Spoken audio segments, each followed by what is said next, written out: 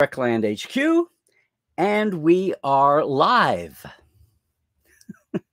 hey, it's my guest, Star Trek history author of The Center Seat, the guide to the TV series, Peter Holmstrom, today on episode 303 of Trekland Tuesdays Live. Boom, now we're official. With me, Dr. Trek, Larry Nemecek, coming at you from the heart of Trekland through Portal 47 and Trekland Treks for some clarity, sanity, and the big picture in all things Star Trek. Welcome to uh, another Tuesday here, folks, everybody. If you're new with us, welcome, welcome. Glad you found your way here. We've got a great community. The chat room's going to start populating up. There we go. All the TTLers are here. If you're new to us, uh, make sure to introduce yourself, sign in. Now, normally, um, and when you're in the chat, just remember that if you're in YouTube and Twitch, you can see everything. If you're on Facebook, you'll only see the other Facebook comments. And if you're watching all this later on YouTube, well, thanks for being here. But just think, you could have been here live with us in the chat. Meanwhile, though, uh, normally you guys know the normal format is there. I'll do a I'll do a topic, I'll do a soapbox for a little bit, and then we'll take a short break, hit the Parrot Analytics ratings, and if whatever there is to see, and on Star Trek, and then I'll hit your chat then. All right. So today is our brand new, almost brand new guest format. So I want to bring in our guest here in just a second. Feel free to chat away. I'm going to try to monitor the chat. If you ask something early on, I mean, I want to I want to talk to our guest for a while first, and then we'll see the questions pop up. And I think Peter can see the chat too. But just know that if we don't get to your question, maybe I missed it. So just, you know, come back and scream it at me in the chat, and maybe we'll catch it on the second go round. Okay. Well, enough said because I want to plunge right in because I'm still, I mean, I've interviewed people for 30 years, guys, but doing it live on Tuesdays is still kind of a thrill. And doing it um, for all the people who, well, you know, the actors get enough attention. I love the behind the scenes folks. Um, but now doing all the, the folks who are adjacent to the industry is something I think we can do on Tuesdays Live. And that's why I am thrilled to have with us, uh, our guest. He's very excited with what's going on recently, so I'll let him tell you. Um, but hello, Peter. Welcome to Trekland Tuesdays Live, and uh, congratulations on the center seat, the book. Thank you, thank you. It's it's wonderful to be here, and uh, thank you for for being a part of the book. You're in that book as well, so it's for uh, uh from uh, Nichelle from Michelle. the Nichelle Company. No way, the Nichelle Company. Nacelle Brooks, which is adjacent to Brian Volk-Weiss's Nacelle uh, Company. Yes. Do they put out Nacelle quarterly? I don't know, or Nacelle monthly. Remember uh, that? I don't know. No, I, I don't that was so. that was J.J. Abrams' joke when he first did Star ah. Trek 09. and see. he said, "It's not Nacelle monthly." Like he was knocking all the anal. There were people were pointing out how in, in, insipidly stupid having a mile long enterprise was, but it looked cool. And he was thinking, okay, anyway. That's a whole other saga, uh, which you didn't, which yeah. you didn't thankfully have to deal with oh, in the book or the series dealt with in the series. Yeah, I did not. There maybe maybe one day with a sequel, but yeah. uh, I feel like there needs to be a few more years between between us and, and, I, that, exactly, that series. exactly. Yeah. Well, so we're so let's talk about the book and how did you come to it and where where's home right now where are you talking to us from uh, i'm here in uh, los angeles um, oh. Uh, oh yeah rocking, there you are okay. yes just, just around the corner you know it's uh, it's great um, uh, yeah and uh, the book kind of came to me um, you know the old fashioned way like i i had worked for a few years as a research assistant on uh, some of Mark Altman's and Ed oh, Gross's oh, oral history book. Okay. Yeah, I knew somebody. Yeah, it's uh, it's that that old story. But uh, and yeah, Mark was uh, EP on the documentary series, and and Brian uh, had wanted to kind of jumpstart a publishing line for his company, and um, you know, my name came up as someone who could who could do a good job, you know, mm-hmm. adapting mm-hmm. these documentary series into uh, into book format. And so, I, we should say, just to back up, that the center seat, uh, I was very thrilled to be part. In fact, I think I wound up being a very big part of it. You were a big part but, of it. Yes. uh, it was a, it was a big thing though. It was a ten. Nobody had uh, with all the documenting and even on the DVD sets and all the hours that have been out there and interviewing and documenting and you know the last 10, 12 years, the higher end documenting, but nobody had done a 10 hour, I think it wound yeah. up being 10, maybe a yeah. 10 hour series on Star Trek. I don't think anybody's done a 10 hour series on any television title or I even think, movie frame. I mean, as a set, people have done yeah. hours and hours on Star Wars and James Bond and yada yada, but you know, um, Bogart movies or something. But I don't think anyone's done a, a, an intact 10 hour series on one title or one franchise. I, I would agree. I think um, it's pretty unique, and and the fact that they spent as much time as they did, especially on like things like Phase Two, the animated series, Enterprise. You know, it's it's showing love. I Mhm. think to uh, to the spectrum of the of the franchise pre two thousand five. Yeah.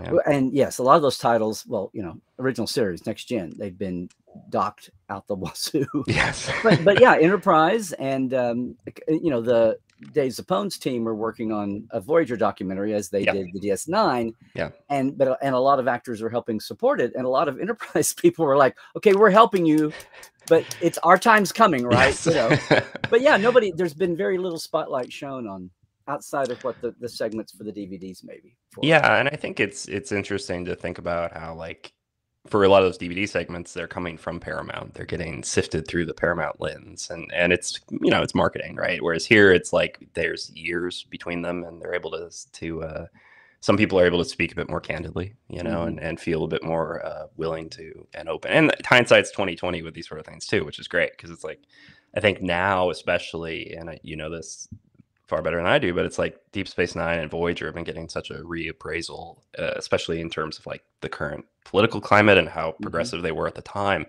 But I, you know, in the '90s, I don't think anybody was talking about that, and which Well, was so weird. But And nobody in the 90s was talking about, wow, DS9, what a pioneer in serialization. yeah, that's very true. The baby steps into serializing. Yes, everyone was annoyed by it. I think, It was, Well, Or just lost. or just no, lost. Yeah. No pun intended there.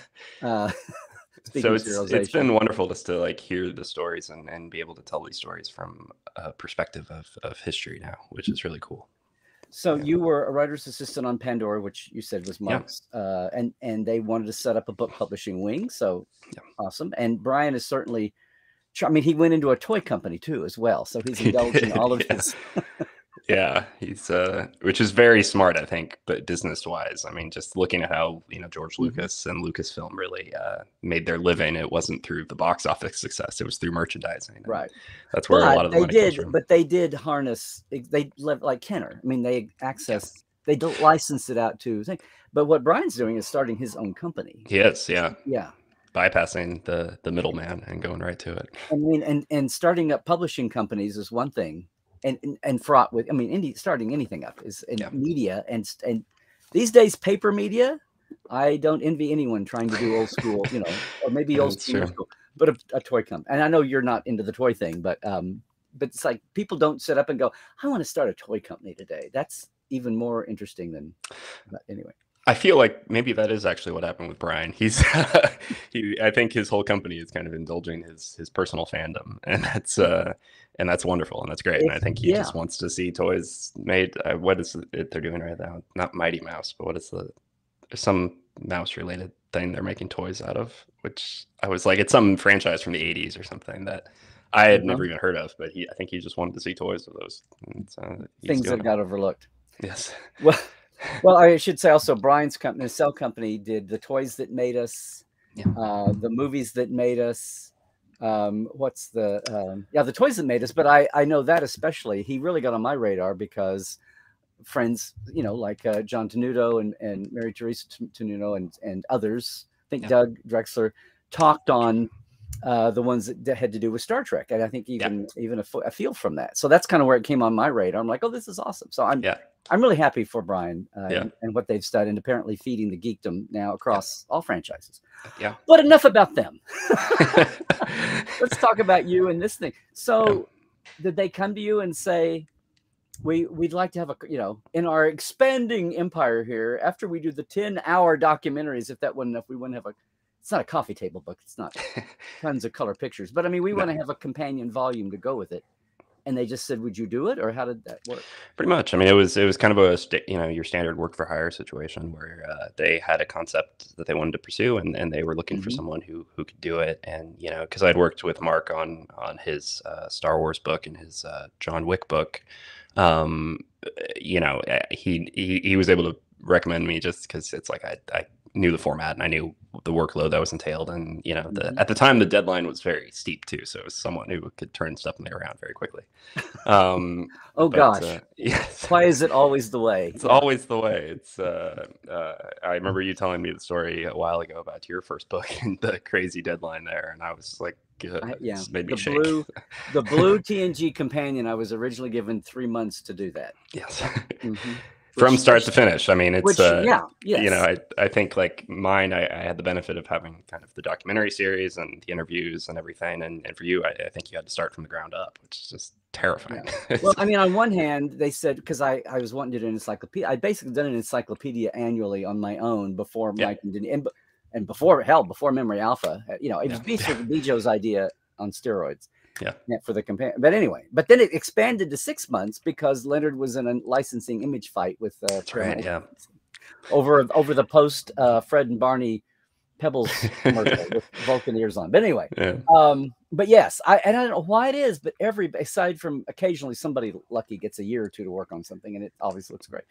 But I was very much aware that I had to do something because I didn't want to be a, a pile of junk on people. You know, like, oh, look at this, they're cramming this down our throats. It's a pile of crap, and they're just wanting our ten dollars from us. You know, kind of Yeah. thing. And I knew, and I wanted it to be on the shelf the way Bjo's companion book and and uh, a concordance and um, Steve Whitfield's uh, you know, the classic making of book was on everybody's shelf to this day still. Yeah. So you feel that pressure. So no, pre- I mean, how, how long did you have? And no pressure much, right? Yeah. I, I had uh, basically two months um, for this one and uh, I'm sorry, how much? two two months two months uh and it uh it was you know it was a lot of work but it was also like so very i mean it's stuff we love right so in a way even Mm-hmm. though it's stressful it, it's such a fun way to to make a living just because we're talking about stuff we, we love to do so it's uh i love to talk about so um you know yes it was definitely a lot of work but it but it was it was a Well, fun I mean, just the compression, and you worry that you're being able to. I mean, it's the same thing in production. I mean, you know, Yeah. Visual effects people say, "Gosh, we could have made a better pass if we just had, you know, one more day to work on it, or not be up at 3 a.m." Or I mean, everybody who care. I mean, sometimes that's the burden of the per- people who care versus the uncaring. You know, the can't care people versus the ones who do, like Yeah. you, like me, like so many. And sometimes the business model relies on that. That's a nice Sure. way of saying they know you'll do it for you know know we'll it, whatever yeah, and stay up all night to work on it.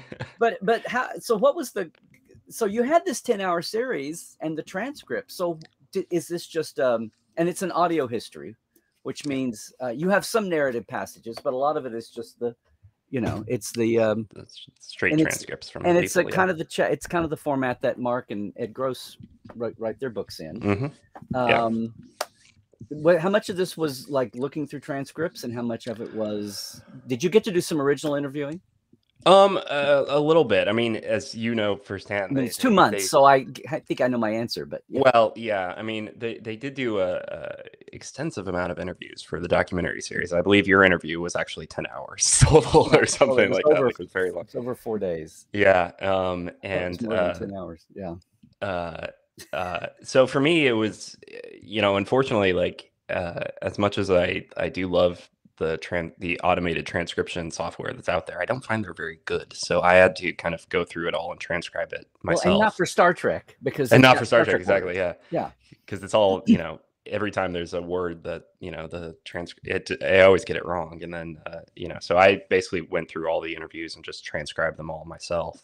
And uh, in so doing, you know, you you just as you're kind of going through all the interviews, you kind of naturally start to form a Mhm. narrative inside your own head. Because when I was working on it, um, actually, it was a couple of years ago now that I was working on this book. I was writing it before the documentary series even came out, so I didn't Oh, even Okay. I didn't even really know like what they were, you know, fo- going to focus on. So I was just kind of like Right. th- thinking about it like my own way, just like what's the kind of natural narrative progression that this this will likely turn into. Um, and so it was fun in a weird way. It's kind of like editing my own documentary in my own head, just you know, Yeah. taking the full brunt of the interviews and and um, and in that way able to kind of make it much more fleshed out because you know just the documentary format it, it's a lot of you know quick sound bites and it's it's kind of you know they're using a lot of clips and they're using you know creating Mhm. stories based upon more sentences whereas for me in this in this thing i was able to use paragraphs and i was able to use full your full 10 hour interview and well i really uh, thought it was more than 10 hours it could a couple of days it was like yeah. four hours in a day but um uh okay so so now i'm confused so because we ha- i haven't got to talk to you about this much. So you said you had two months but then you said you were working on it two years ago so so yeah you know they i mean and because this was I mean, did you have to first, turn it in two years yeah ago yeah because Nacelle was kind of starting up their publishing stuff, they, mm. they, they, you know, I think this is something that's great about Brian in a way is he'll just jump into the deep end of things. Like he, he, you know, because I think so much of us in, in Hollywood and, and in this industry just get so afraid after a while and just mm-hmm. we'll think like, wouldn't it be great to self finance our own movie? And then like two weeks into thinking about it and working on it will be like, this is really hard. Let's not do this. and, and this uh, is really risky. Yes, and, exactly. Uh, yeah. And I think Brian just jumps right on in. But, uh, you know, the, what ended up happening was there was some, you know, uh, stuff that had to get figured out. They, had, you know, just in terms yeah. of their own publishing line and their infrastructure and things like that. So right, right. it ended up being. Well, a, you were the guinea. I said you were going to be the guinea pig. Yes, you'd exactly. you'd be the cat. You'd be the canary in the coal mine. If, yeah. Yeah. Uh, yes. but uh, so yeah, it's been a bit of a slower rollout. But then, like I know this year they have like eight or something books coming out, and you know three oh, of them are going to be from me, and and then I know John and and Mary Tenuto are, are working on one, and uh, I think Ed Gross has a bunch coming out from from well, Nacelle as well. So what are they? Can you talk about it yet? Yeah, I mean, my uh, you know they're currently up for pre-order on Amazon if anybody wants to pick them up. uh, so Nacelle has continued to do more documentary series in the vein of the center seat, and they they're doing a series called Icons Unearthed, which is all about like and it's through Vice right now. It's the Vice channel. Um, and uh, they did one on Star Wars. They did one on The Simpsons. They did one on The Fast and the Furious, and so I've kind of become their like in-house like novelizer. Novelizer? That's not the right word, but uh, adapter of the documentary series into into book format. So, so uh, oh, I have one okay. on Star There's Wars. a nice cottage industry to have. Then yeah, yeah it's fun. Yeah, it's it's yeah. it's really it's really it's been really rewarding. Um, so worked on uh, I did one on the Star Wars franchise, which is coming out soon. Um, I did how, one. How, how, big is the documentary that they're planning for Star Wars? Well, it, it was uh, six episodes, I think. It came out last year, last fall. Oh, okay. And, uh, I totally. So, so Star Trek's title is still intact. It's still the longest documentary. Yes, yes, right? yeah. Okay, okay. Yes, that's all. That's all that matters. There ought to be. There's more hours of Star Trek than there are of anything. that, that, that is true. That is very mm. true. um, and uh, yeah, so I did one on the Star Wars franchise. I did one. They had gotten an interview with uh, Marcia Lucas, who was George Lucas's wife uh, mm-hmm. during the original trilogy period, and they had kind of wanted to do a book that was focused mostly on her mm-hmm. and kind of expand out her interview into like a full fledged uh, book. And so I I did a book that was kind of like trying as best I could to tell her story from her point of view uh, about Star Wars, which yeah. is a little hard because you know George is kind of the guy. and, and no, no, no. There, it's it's like uh, you know, after 30, 40, 50 years, I think there's room for all the other voices, especially you know, his wife so. at the time. Yes. Yeah, I, yeah. Uh, so you know, did the did the best I could there, um, and then uh, working on one right now that's about the Simpsons, and uh, wow. that will be uh, all three of those books will be hopefully coming out later on this year. Don't forget Tracey Ullman. I, well, actually, yeah. I mean, there's a, a whole chapter just about that. So good, it's, good, good. It's, kind of like the Lucy and Desi chapter of of this, only for The Simpsons. It well, is, yeah. Let's so let's talk about the center seat. Yeah. So, what? Um, obviously, the the documentary was happening, and you were you were so you were seeing transcripts of interviews before it was edited down. The finished. Yeah, so it was just the raw. Right. The so you didn't see yeah. where the thrust of things was. Yeah. Um, so was it i mean pretty organic? What's what was the hardest thing? This is tried questions i know but like what was the hardest thing? What was the what was the most surprising thing? I don't know. That we're talking all these chapters from from roots of desi and lucy yeah. through the cage through the end of enterprise right? Yeah yeah. And a big chunk of this about 70s fandom and the revival era even uh, yeah um, film I think you know, for me, in a lot of ways, it's, it's hearing the stories from the people that don't always talk as much, right? Mm-hmm. It's like they have Larry Niven in there who did an interview, who mm-hmm. wrote an episode of of the animated series, and is a very accomplished uh, sci-fi novelist, and and they got him to talk, which was fascinating, and also just to learn that like he had also written like two other scripts for the animated series that you know were rejected, or mm-hmm. or uh, which I was just like, wow, that's so interesting because um, and uh, yeah, you know the the stuff about Lucille Ball was really cool as well. I think that had been something, not just the null. I think I had known previously that she had, you know, her. I mean, obviously, there's the credit at the end of the at the end of the episodes, but um, I think what's so interesting is to learn kind of the full story behind it all. She was very important, but she was also like, you know, uh, she was like the ultimate studio op. She had no interest in the details. She had no interest in the details. She yes, just knew the concept, and she said, "I want to do something crazy and bold, and we're gonna we're gonna either make it or break it." And they, although I've seen, I don't know if you get into this, but the revisionist thinking about, oh look, she broke the studio just like the old guard thought she would with Matt with Mission Impossible and Star Trek. But then somebody said, no, no, look, look how much like she bought out Desi for, and then look at the value she got from Paramount. So she made a ton of money. She made a ton and, of money. And a lot yeah. of the board got their severance. I mean, you know, got their stock share checks. So the value of Desi, it's not like she broke the studio and Paramount got it for pennies. Yeah. You know, and all the properties therein. Anyway, I'm, I'm yeah. Well, and I think that's what's so fascinating too is you're hearing both sides of that story and and able to relate it in that way. So in a way, because history, especially of this sort, is is made up so much by perception mm-hmm. and by by uh, subjective opinions on things. And, and, and so like there are those by people the winners and by the winners exactly yeah. So it's it's so interesting to hear like there are people that are like Lucille Ball was the single most important person in Star Trek. There are other people that will say like she had no idea what Star Trek was and and was kind of just like signing off. You know, she was kind of the figurehead of the company and didn't really have active involvement day to day. And there's evidence for both sides of that. And that's really interesting to, you know, there's some people that claim she was on set, you know, helping clean up after day one. And then there's other people that was like, she literally had no idea what Star Trek was. And, yeah. um, and it's fascinating to, to kind of eh, look into that sort of Rashomon approach to, to history. Um, yeah. I, I, love that. So it's, uh, well, uh, yeah. that's, so there's a thing, in fact, there was I want to make there's I was like there was I was zooming through I, I didn't get a chance to, I got I we, it was delayed but I did get my book uh, yes. maybe five or six days ago. I'm so glad you got it. and I had a yeah no it was awesome and I had a uh, I had a Yuri's night and a few other things in between so I was scanning just to see but there was I remember filming the the uh, Marc Cushman and several people are always big about the whole why did Gene Coon leave.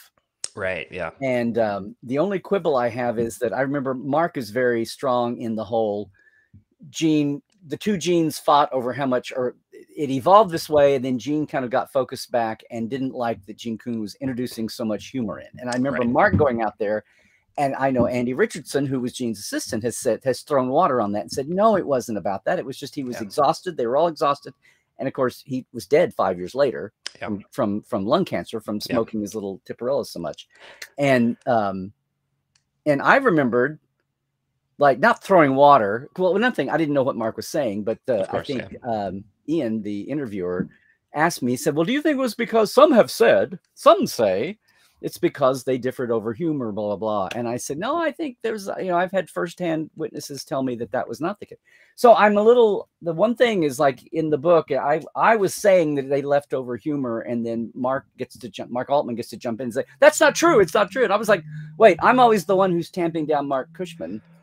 Uh, yeah. I. Uh... So anyway, that's my one little weird, weird moment in the and it's no big deal. It is no big deal at all. Maybe I should check I, in on this myself in here. But that's an example of the Rashomon you were talking about there. It is, and I'm, I'm I didn't think I misquoted you in there, but uh, well, um, I, yeah. I may have said something, and but you were looking at the interviews raw the way they weren't edited, so it's true, and and sometimes I would. I suddenly turned into the champion for uh, saying that was the case, and anyway the uh I'll I'll check on that. But the um I know sometimes I would like no break deal. up an interview into like, you know, you you talk for like a bunch of, you know, Right. Oh no, you have, and then I like chop it up into paragraphs and kind yeah, of like reorganize yeah, it that way. So maybe on like page five of this this discussion, you, you actually get back around to being like it's it's not the case at all. Might have been no, it's but it's, uh no, you had a you had a now that I found out you didn't even get to look at the edited episodes.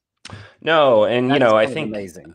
I think I appreciate it. I, I remember distinctly Mark Altman talking about how, and I think because I think this does get forgotten about too a lot. It's like Gene Coon was working on the Questor tapes with with mm-hmm, Roddenberry mm-hmm. just before he died, and like he had been asked to come on board uh, the animated, Animated. series and and just said no because you know they weren't paying much and and and it, so it's like I don't feel like there was a big rift. I think there also like at the time there was such a turnover Well, of showrunners just yes. every in every show no Well, matter my what. thing is, if there was such a rift, why did he have an order? He had like a contract to do eight or nine scripts the next year, and he only delivered three or four of them. All is the you know the Lee Cronin.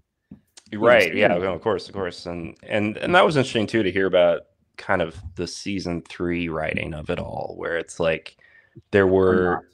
or not yeah exactly it's like the the the you know because I, I believe as i understand it gene coon was kind of he a lot of those season three scripts were kind of like first drafts that then were rewritten Mhm. extensively uh, by other people partly just for production reasons but Right. um, but that's really interesting. I know Dorothy Fontana talks about that a lot too. How like Mhm. she had written, she was meant to write more, I think, and then like she saw how um, Fred Freiberger was kind of running things, and was just like, I'm I'm getting out of here.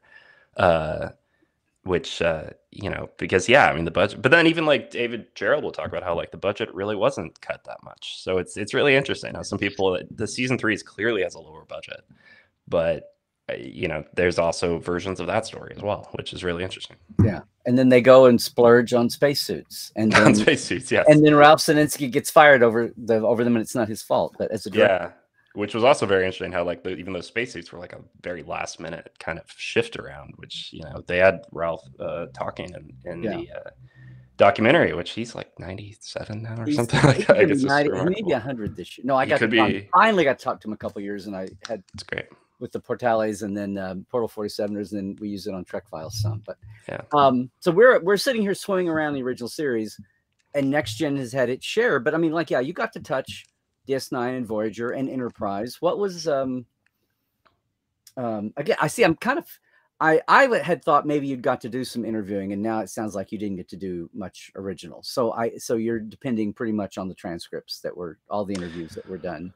Yeah, I mean, pretty much they. Which must be a little frustrating because you didn't get to be there to ask the questions you might have wanted it's to ask. it's true and like with the star wars one like i kind of you know i i took i had a bit more time so i was able to do a bit more uh, legwork on my own end um uh but like the you know the star trek ones they were it was very extensive interviews i mean they got just Mhm. about everybody like i i you know and did very long interviews with everybody which was very daunting to be like wow they're five hour interviews with uh oh god i'm blanking on his name the director of season two of the animated series um uh, Oh, Lou Scheimer, Nor- no no uh, B- uh bill reed bill reed um who's uh who was great but like he's you know oh, and oh, he was he was an animator, I think.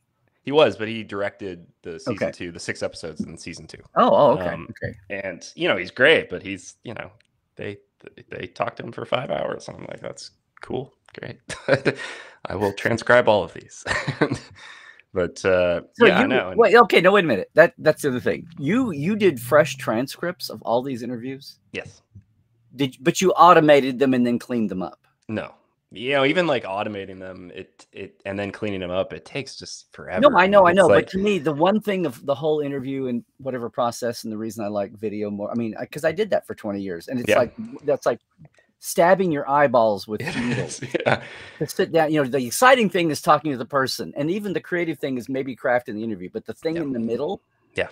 But yeah, you're when when Trek comes out as truck yes 40 billion times, you know, and yeah starters. And I know they're tribbles comes out as trevor For you to say that you something did like them all by hand, fresh, uh, that Yeah. just blows me away. But okay, Yeah, it you know, I maybe some people are better at this than I am, but like I, cleaning up automated transcripts, I find it takes just as much time as just writing them fresh. And then when I write them fresh, I know I haven't missed anything. yeah, but it's a know, lot 'cause it's- easier on the knitting needles in the eyes. It could be, yeah. I, I find either one. It's just like I'm just like it's it's uh, You must be a no better what. transcriber than I am. I did, that was the thing I just dreaded and hated and hated and dreaded. But especially, and I would do like hours. You were doing like five hours, so in Yeah. four hours and three hours. Ugh. It was it's it's a, it's an experience, but I think now with like my latest books, I've become a little more selective about what I uh, transcribe too. If if I know the quote's not going anywhere, I'll just It was like, your, I'm uh, It was your landing. It was your landing part. It was your. uh It was your baptism by fire. You Yes. Yeah. yeah. Um, I'm just gonna look in the chat real fast. I think somebody, oh, Sophia, who's in Portugal, Nice. said, uh, "Who would you have liked to have talked to but couldn't, if you if you had the chance to?" Um, Or, or I guess, or they didn't have a transcript for, or you would have wished to have done live that you'd had a transcript for. You know, they they didn't get Jonathan Frakes. That would have been great. Um, I think You know, he's so lot of fun. snooty and aloof. it's um, he's uh that would have been a lot of fun. Um, you know, just personally, like I'm a big Frasier fan, so I would have Mhm. talked to Kelsey Grammer for an hour Mhm. or two, just, Just for no reason, Captain. just for that little little bit, Yeah. little thing. Um, But he was a I tech nerd, which is why he did it. So Yes, exactly. And like I didn't attend the panel, but I know he did a panel a few years ago at uh, the Creation Vegas Mm-hmm. uh, thing, and I, I I hope that went up. I hope that went well. 'cause I, that would have been fun I, to go to. uh, But didn't see it. But yeah, uh, Melanie says, "Who designed the Tholian Web environmental suits? Form fitting, not bulky." Um, I want to say it was. Was it Mike Minor? Sure. I think it's a no. Well, he's a good. 2D he was a he was an art like art art person, yeah. but I and I but I don't think Bill Theiss does. Maybe he did. Someone's gonna come in. and- Well, yeah. I know like they had a suit designed, and then like very last minute, it got thrown out because it for whatever reason I don't remember why, but like it uh, it's in the book. I know there's a story like a hard book, suit. Yeah, and it's uh, uh, and that's what got Ralph Senensky fired from the episode was that he was going over budget, I guess, on the suits or something. Well, like he's talked well, real quick, everybody, so we don't.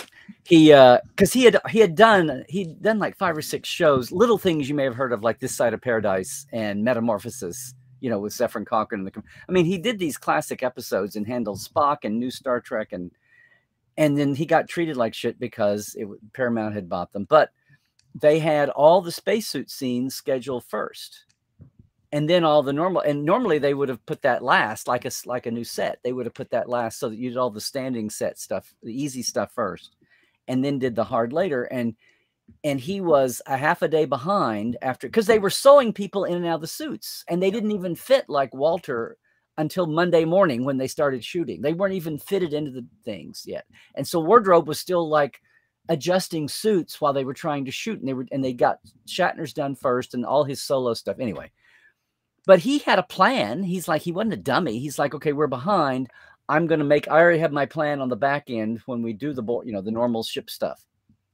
But after two and a half days, the new head of, you know, that guy at the end, Douglas S. Cramer, head of production, who's not a creative guy, just a bean counter, comes in and says, oh, we're not going to be made fun of. We want the industry to know that Paramount's not going to let it, people run over budget on our TV shows because they were new they bought Desilu to have a TV wing. Yeah. And, um, and I'm sure you knew all this, but I just want to make sure. no, it's uh, you know, it's He it's got so burned by it. He was he got instance burned, and- burned, and then they went out of their way. Instead of they didn't just they didn't just fire him unfairly, and he would have brought it in on time by the end of the thing, but they cut in halfway. Then they took out a they did a story in the trades and said, "We just want the industry to know that Paramount's dedicated to being efficient and practical, and people like." You know, checks notes. Ralph Senensky are not going to get it. Like they like blasted him. They Yeah. mentioned him as like a bad guy where he'd been directing for 10 years and it he was blacklisted for two or three years and he had finally had friends that let him start directing again.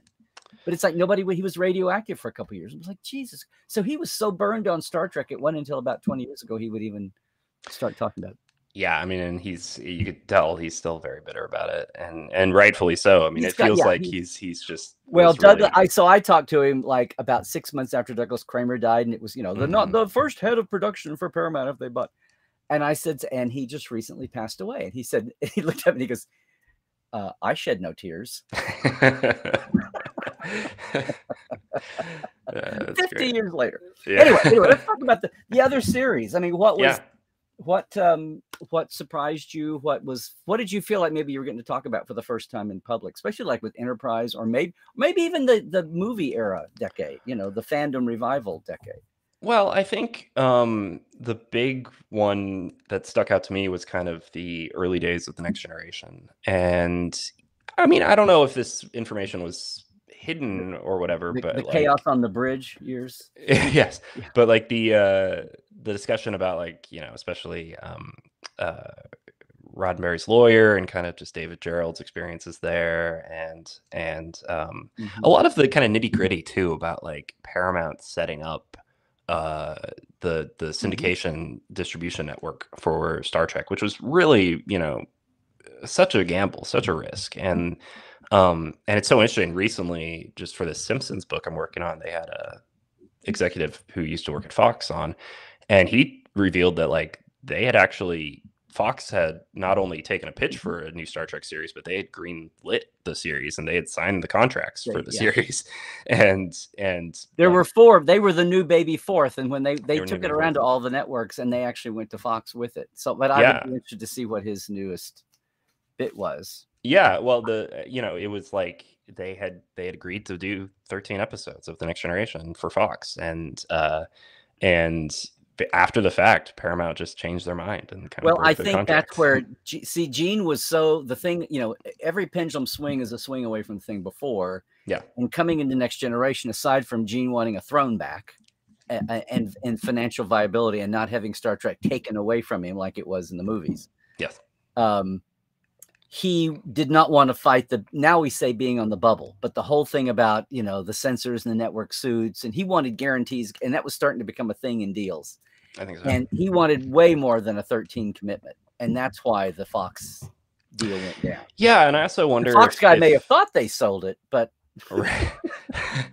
well I, know, no we want at least a season we really want three seasons or something like that you know which was un- insane and unheard of but he's saying i'm sorry this is star trek this is not joe blow's startup you know series right, which is interesting too, because at the time, that's that's a, a lot of moxie to have about Mhm. a very because nobody in the industry thought it was going to do well, and like all the you know, it's so interesting now because like the actors the yeah, I mean, you know, we we for me, like I I grew up watching Star Trek. These people were huge in my life, and yet to like think back to what the point of view was of the industry at the time in '87, like none of these people were household names except like people knew of LeVar Burton and uh, Wil Wheaton, but they And weren't like stars. I mean, to I mean, well, you know, uh, but like uh, to think back about how like how crazy it is just to hire all these people that no one had ever heard of, give a show that you know, and we look back at season one now, and like season one doesn't have a big budget.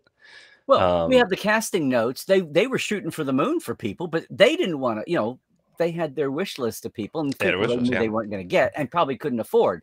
But Yeah. they were going to at least think in those terms. And a lot of mid level people were like, "Sci-fi Yes, and syndic- and syndicated yeah, and a Yeah. sequel." That's like Rick Berman would say, "Sci-fi syndicated sequel is radioactive. Nobody wanted to touch." it." yeah, yeah, and you know, it's it is fascinating to look back on season one too, and how many of those episodes are actually just bottle episodes, like what we'd call them today. It's like they're usually set on the Enterprise. They're uh, standing sets, and if they go to another ship, it's the exact same sets as the Mhm. Enterprise, and and uh, you know, dealing with with kind of sci-fi concepts that uh, that don't cost a lot of money, and like it's. uh and then to look at even just two years later and how like because of the success of and it was a huge success when it came out that the budget just starts to go up a bit and you know you start to kind of fill out the world and and it becomes the show we, we love but it's like Well, they also know. got to amortize. I mean, they started. They had that enormous warehouse of set pieces and props. Yes, and of course, yes, exactly. And so it, that started to build up. absolutely Yeah. um but yeah so i think like the interesting thing for me was kind of just learning that kind of nitty gritty stuff you know and and it's stuff we we can't ignore but it's kind of gene's you know descent i guess during that time and then like his Mhm. but also just the weird you know stuff about how like you know paramount was still claiming the original series was an epic failure and like he you know gene had to like do some fancy work with the contract or gene's lawyer rather uh, leonard Maizlish had to do some fancy you know fine print stuff on the contracts to make it clear that like they could hire accountants to come in and like look over the books for the, Mhm. whole franchise and once they did it's like roddenberry suddenly starts getting very large checks in the mail and it's it's just so it's because hollywood's still doing that And a new It's- so it's Lincoln or a new con, yeah, a new Cadillac, it's- whatever that was. Yeah and it's uh it's it's just bizarre to hear that stuff and be like wow it's you know some stuff Well, and see, change. Leonard Maizlish is like the bad guy who interfered way beyond his means with the Yes. writers the first season, being good, being the bad cop to Gene's good cop. Yeah. And not letting the movie dethroning happen again, you know. And and the whole chaos in the i totally get it. It's like how do you gosh we just went through a, an administration like this. The way you you if you feel like you have inadequacies and you feel inferior about anything the best way to maintain your position is to keep everybody else spinning in circles yeah. and stirring up the shit. And that's really what they were doing the first couple years as his health was going down. And, and i think the more gene's health gave up the more leonard got more frantic about it. Until finally they're like i'm sorry. Not only are you writing and this is against the guild rules but you're breaking into people's offices and, Yes. their, and rewriting things in their name. And anyway, yeah so I'm, you know, I'm really Bizarre. glad for the. I always heard this stuff, but I'm so glad that they got the chaos on the bridge doc done and got some of this out there. Yeah. But, Yeah. um, it still burns pe- to hear Dave. Well, they interviewed Dorothy before she passed, right? They had a fresh interview with Dorothy. They, they, yeah, they I, I I think they they purchased an interview that she had done Okay, a few years okay. back. But yeah, yeah. she Um, still, we had her on the Trek files like six months before she passed, and she was looked fine. She was, you know, Yeah. I actually went to AFI for grad school in screenwriting, and she was teaching there, and I took her class, and she was just lovely and like the most, you know, someone who I was, I was, I was actually planning just to audit her class again, just you know, a few days before she passed away, and I was just like, what the hell? Like, you know, she Um, was, Yeah. her brain was still working so great, and like. It was lovely. The whole her class was literally just like the history of TV, and we just show up and watch old episodes of television. She just talk about the industry, and it, it just felt like you know you're you're going to your grandma's house and just watching watching TV with her. It's just it was so lovely, and just But it- the it- smartest TV grandma in the world. the smartest TV grandma, Yeah, of course, yeah. and, and with the best taste, of course. It's uh, great great taste in television, but uh, um, but yeah, no, and like uh, so Dorothy, you know, Dorothy's interview was great as well. Um, I wish, I mean, that's probably one I wish we could have Mhm. gotten a, a longer interview with because I think, you know, her interview I think was like an hour or so, and and you know she goes through kind of the usual, you know, like the stuff that uh, the go-to stories, I guess, and it would have been really interesting to talk more and try to get into the, you know, stuff that try to delve into Right. the memory banks a bit. Well, more, and but- you know, everybody's a lot of the highlights get touched on over and over and over again, and but every Yeah. once in a while you get into a nitty gritty area, and uh, little mysteries, and you're like, I'd like to know, you know. Um, so here's a. I'm going to say this real quick. I totally forgot I could have done this. So Melanie, uh, the Feinberger and Feinberg device, the Feinberg, or as Bob once said, the Feinberg oscillating Framazam. Uh, Irving Feinberg was the prop master, so that's where he figures in. It just Ah, nice. that was an easy Very one cool. to throw off. Very cool. So again, I feel like we're we're wallowing around in TOS and TNG and some of these areas. Like, what was like the Voyager? Anything pop out at you from those? Um, you know, the the Voyager, uh I mean Deep Space 9 was fascinating just to hear people talk about, you know, some of the topics related to like racism at the time and you know the stuff that wouldn't necessarily make it into a paramount uh, promotional material but like you know talking about just how progressive it was but also some of the struggles they had um, at the Yeah. time. I know like uh Cirroc talks about like a, a really shitty experience he had on on set once where not even on set but like on the paramount lot where he like a security guard just like threw him out just like onto the street 'cause he thought he had broken in or something. And it's like this guy's a star of a major television show. Like clearly he you know Not not that it just- should make any difference, but I if I was there, I, and maybe he says, maybe you know, but I would immediately say, not that makes any difference, but like he started when he was twelve or thirteen. he was very young yeah, and then, he, yeah. and then he shot up right over the yeah. seven years. So Yeah. I'm like, I'd be like, was this closer to twelve or closer to eighteen when this? I- not that either one excuses it, but I just understand how that mind works. I'm just, but you know it's uh it's uh yeah but like so so hearing stories like that um you know penny johnson does a great interview as well and talks about some of just the struggles of just like getting you know having a, a romance on television Mhm. between two you know black actors it's like it's it's even then it was and arguably even today it's still kind of hard to hard to sell that um to a lot of the the studios out there and it's um it's it's so fascinating to look back on um and i think like the voyager stuff it's um you know it was fascinating to kind of hear about like looking at voyager in relation to its struggles to find its identity Mhm. struggles to kind of find its its voice and its success and now we look back on it and it's like it's one of the most you know it's so successful and for a long time it was like the most Right. watched star trek show on on streaming yeah, and it's like at the time though there was it was there was a sense that it was just this big old failure and it's and a lot of the I- creatives behind the scenes were were feeling a bit tired and a bit like you know Brannon Braga talks about how like he both it was the best of times in his career, but it was also like he he could kind of feel the engine starting to you know wear down a bit during that period. I always thought that it was the I, and I'm and then for everything I thought about Voyager being like a big disappointment or not not even of its own, but somewhere between the weird the the small townness of UPN as a network Yeah. and some of the insane no you know and and uh but also just how the pilot was the pilot excited everybody so much and then how everything was immediately backed away from and vanilla Yeah. you know Yeah.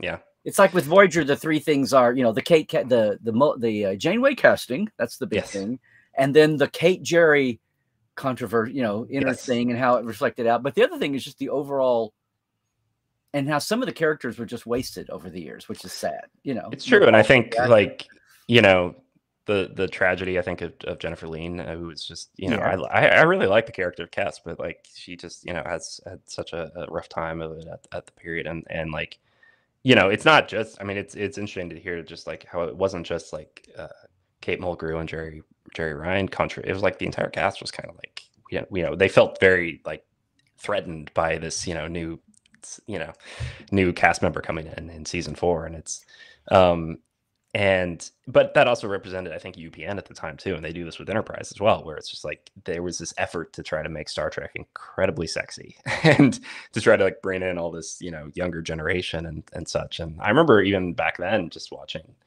voyager on tv and like the advertisements were just so like trying to make it look like baywatch in a lot of ways and it's just like, that's- trashy, yeah. yeah.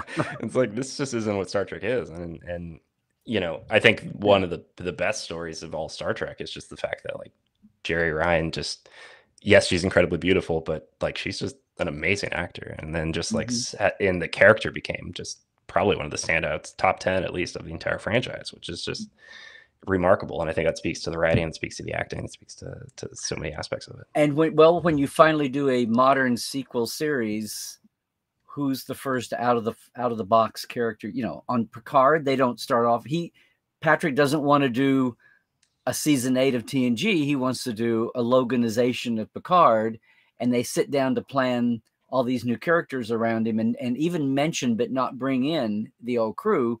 But who's the one character they do? Yeah, It's that it's very true. part of it's Yeah. because they're both XBs, and that was part of the thr you know, it was like let's get them together to, to to vibe over there being former drones. Except he was a former drone for a couple of days, and she was for you know ten or twelve years. Long time, long time. But she's the character that they bring, the legacy character. Now that we have all these terms, that they bring in first. So yeah, no, it's amazing what she, you know, to be plastered all over every damn magazine in the country. Yeah. On the cover in the cat suit when she was cast and announced, and then within a few months, people go, oh, and they totally lose. They still like watching her on screen, especially with their male yes. or any female. I would say. too. I don't want to be small-minded here yes. but but to be watch what she's doing and when they would get into this when she the one where she's breaking down and she's doing the Ferengi and she's doing all the or the one where she and, and Bob I say Bob the doctor and seven um switch are switching bodies and, and pulling off some of the stuff she did the comedy was it's amazing and Yeah. and amazing yeah you know it's and good it's so interesting too to hear because they and what a know, weird beginning she had with her uh, you know oh yeah, it's yeah you know and to come to where she is now and happy and everything. Yeah um but it's they they also got an interview with with Jeri Taylor who which was very interesting because Jeri Taylor retired at you know was that really? Wow that's that's Well, because she was doing that. Well, they were there was a thing. Uh, I was offering, a silly me, I was offering to help, you know, if where I could, yeah. And uh, I knew they were getting that Dave and the Voyager documentary team were getting Jeri ready to talk Mm. on camera, and she was Mhm. like, "Okay, okay." She's like, for a while, Jeri had this like I interviewed her every year, and you know knew her back in the day, and then she retired, and when she retired, she kind of wanted to retire. And Yeah. it wasn't just Star Trek. She'd worked for, she had been a late blooming mom in TV, which was part of her story, which needs to be told. Mhm. She had, she was um, uh, Dick Enberg, the sportscaster's wife. They Mhm. di- they divorced. She basically had the three kids, and she'd been a house, uh, you know, a media celebrity's housewife. And she, but she had had scripting or English in college, and she dived in to write for her own life, and then found herself, you know, climbing the little writing ladder, and then being a producer and having the opposite, you know, on Simon and Simon and and Quincy, and she had all these great credits. And she came to Star Trek totally not knowing anything about Star Trek, but Mhm. she knew people anyway. Anyway, but she did her stuff, and when she retired, she was she had a whole industry career, you know, not just Star Trek. But she's like, okay, I'm done. And I'd say something about talking to her in the last 10, 15 years, and she says, "Oh, Larry, I said it all." you know, we talked for so long back and you know, and I knew that like this whole new perspective on Voyager and Janeway and what Yeah. she meant, Janeway meant to especially all the women out there and the little girls and everything. And and Seven and um um and B'Elanna, you know, even. Yeah. And so they kind of got her re-prepped to come and talk, and her health's been better. She lost her husband a couple years ago, but she's Mhm. her health's been better. So I knew that was all a thing, and they were kind of you know the the light under the bushel they were going to release for the documentary so i didn't know if she wanted to talk for this or not and i kind of said well it is going to be a 10 hour it's going to get a lot of attention it would be you know and she's you don't have to save it all for the documentary she could get it she should be there She- and so she, everybody kind of said okay i mean i don't want to say you know but i mean i kind of helped get that along and a couple i mean some people nobody would know unless they're behind the scenes people and nobody would think of unless you oh this is a great storyteller or this is a per-. because we've had them on i knew them interviewing them and then we had we've had them as guests on portal you know we've had them as guests on portal 40 oh you can't see on portal 47 over the years so like mike DeMeritt who's assistant director who has tons of great stories yeah, but yeah. so I'm glad Jeri got out and could say, you know, and get her piece out there because it's dawning this last couple of years, it's dawning on her how much Janeway and how much she creating Janeway meant to so many people. That it back in the day, like you say, back in the day, we're just trying to get scripts done and stories and dodge the network and you know. yeah and you know it's uh, well i'm sure she did a lot of interviews at the time like i think like it's sad that i think especially her involvement with tng has been kind of forgotten you know like she was kind of the showrunner for the la- latter few yeah, years and, Yeah, yeah. When Michael pulled back, she was yeah. Yeah and yet everybody instead remembers you know the ron moores and the brannon bragas and all the you know because they're out there still talking about it and and you Mhm. know it's then they have their own stories and they talk about those stories so like jeri kind of gets you know forgotten about but it's like she was Crusher and of- Crusher and Troi in the command track uh, Yes. are Jeri. yeah. yeah And, And also, she- even the extras, like extras crew walking up and down the corridors, you'd see yeah they quit being all 25 year olds. But no, I mean, some of them, and they weren't in prime, you know, they started adapting uniforms. They started having people in their 40s and 50s, yeah gray heads, uh, walking the corridors. Like Yeah. Starfleet is not just for 30 year olds, and you, know, you have to true, yeah. retire. Yeah, which you know, and it's, I mean, she did like rewrites for some of the most big episodes, like page one rewrites. And Star Trek at the time didn't, you know, they they had a habit of keeping the original writer credited. So if if you know, I mean, Ron Moore did the big rewrite on uh, in the Pale Moonlight, which he doesn't get a credit for, but like it's basically a page one rewrite he did. And Jeri Taylor did a page one rewrite of uh, the Inner Light, I think it was, and like she, you know, that's kind of her episode, and yet it doesn't get talked about. Mhm. Just you know, Mhm. which is like the most high rated episode of, of the Next Generation for better or for worse, and it's um the uh, the uh, she deserves all the credit in the world. And Yeah. um, yeah, Yeah. Uh, well, they all kind of did that until Brannon and Ken. Okay. Um, uh, yeah. So is there, I mean, so t- you were, you were the, I said this was the, uh, the guinea pig of their book line. Yeah. Uh, the first of the projects you've worked on and Star Trek, but like you said, you went into it knowing a lot of the shorthand already. You Yeah. weren't leaning totally on the transcripts. Yeah. Uh, Do you have any regrets? Well, I mean, it would have been great to have more time, to, to- just to kind of finesse the uh, the the work and and you know, because it's um, I mean, now it's done and it's out there, and it's and uh, you know this too, just from writing your own books. It's like you can't you can't really change it anymore. it's uh, there's still tons of stuff. I, I was like, oh god, I wish could I could have just tweaked that or add or you know revised. Uh, Larry Nemecek's transcript about the uh, Gene Coon situation, apparently, but uh, the uh, you know, Oh, don't don't! like I just was, I uh, wanted to ask you about that because it looked like Mark gets to come in and go wrong, no, and I'm like, what? That's no, and yeah, I know. one Um, time I said in the sitting down because I worried about this. One time I said I either said 64 when I meant 1964 when I meant to say 1965 or vice versa, and I worried. Like I realized later, I'm like, oh god. They're gonna use the thing and not, and people are like, don't you know that was in '65, not '64, or you know, whatever. Yeah, and that's an something like interesting that. point too with with Yeah. works like this, where it's like a lot of people do just mix up, you know, dates and facts and things, and it's you're, there's sitting there in the chair. Every once Yeah, you know. stop, and I would. I, every once in a while, I was like, I want to. I'm going to check this before I just. And I brought a couple. Like I didn't bring Yeah. a library in, but I had a couple of notes, and I'm like, I want to get this right. Yeah. There was one thing especially like the, and I don't know if we got into it. The vat when Gene had the chance to buy Star Trek like six months after it was canceled, and Paramount offered it to him, and he couldn't raise the cash to. It was like a half million or something insane. Mm. And I guess they started to get the reports back from the syndicated stations that they had first sold it to, and they were like, like stop, no, no, don't, no, like don't sell it for half a million. About the Yeah. time he finally had to say no, they were like, okay, fine, order withdrawn. you know, I wanted to make sure because Herb Solow put a number to that, and if nothing else, I would just quote Herb Solow. But I wanted to make sure and have that accurate because you know they specifically ask. and I said, no, there's a number out there. It's floating around. Let me find it, kind of a thing. So Yeah, and that that period of time too is just so fascinating. Like the '70s, you know, rising appreciation of Star Trek, and you're getting, you know, the first conventions, you're getting all those like movie development stuff, and you know the the Gene Roddenberry projects that also almost happened, and then you know the Phil Kaufman scripts and things like that. And it's like Yeah, you, you know, you, unfortunately, there's not a whole lot known about any of those things, but like it's fun just to to to think about and talk well, about. hopefully they'll be hopefully they'll be known eventually. Hopefully. there's a ton of material. We're just trying to like on the Yes. Trek and the Trek file. For one thing, if if of all the channels out there, the Trek files is this 15 20 minute format, and we're all we're all trying to because we have scripts, we also have like notes and communications and.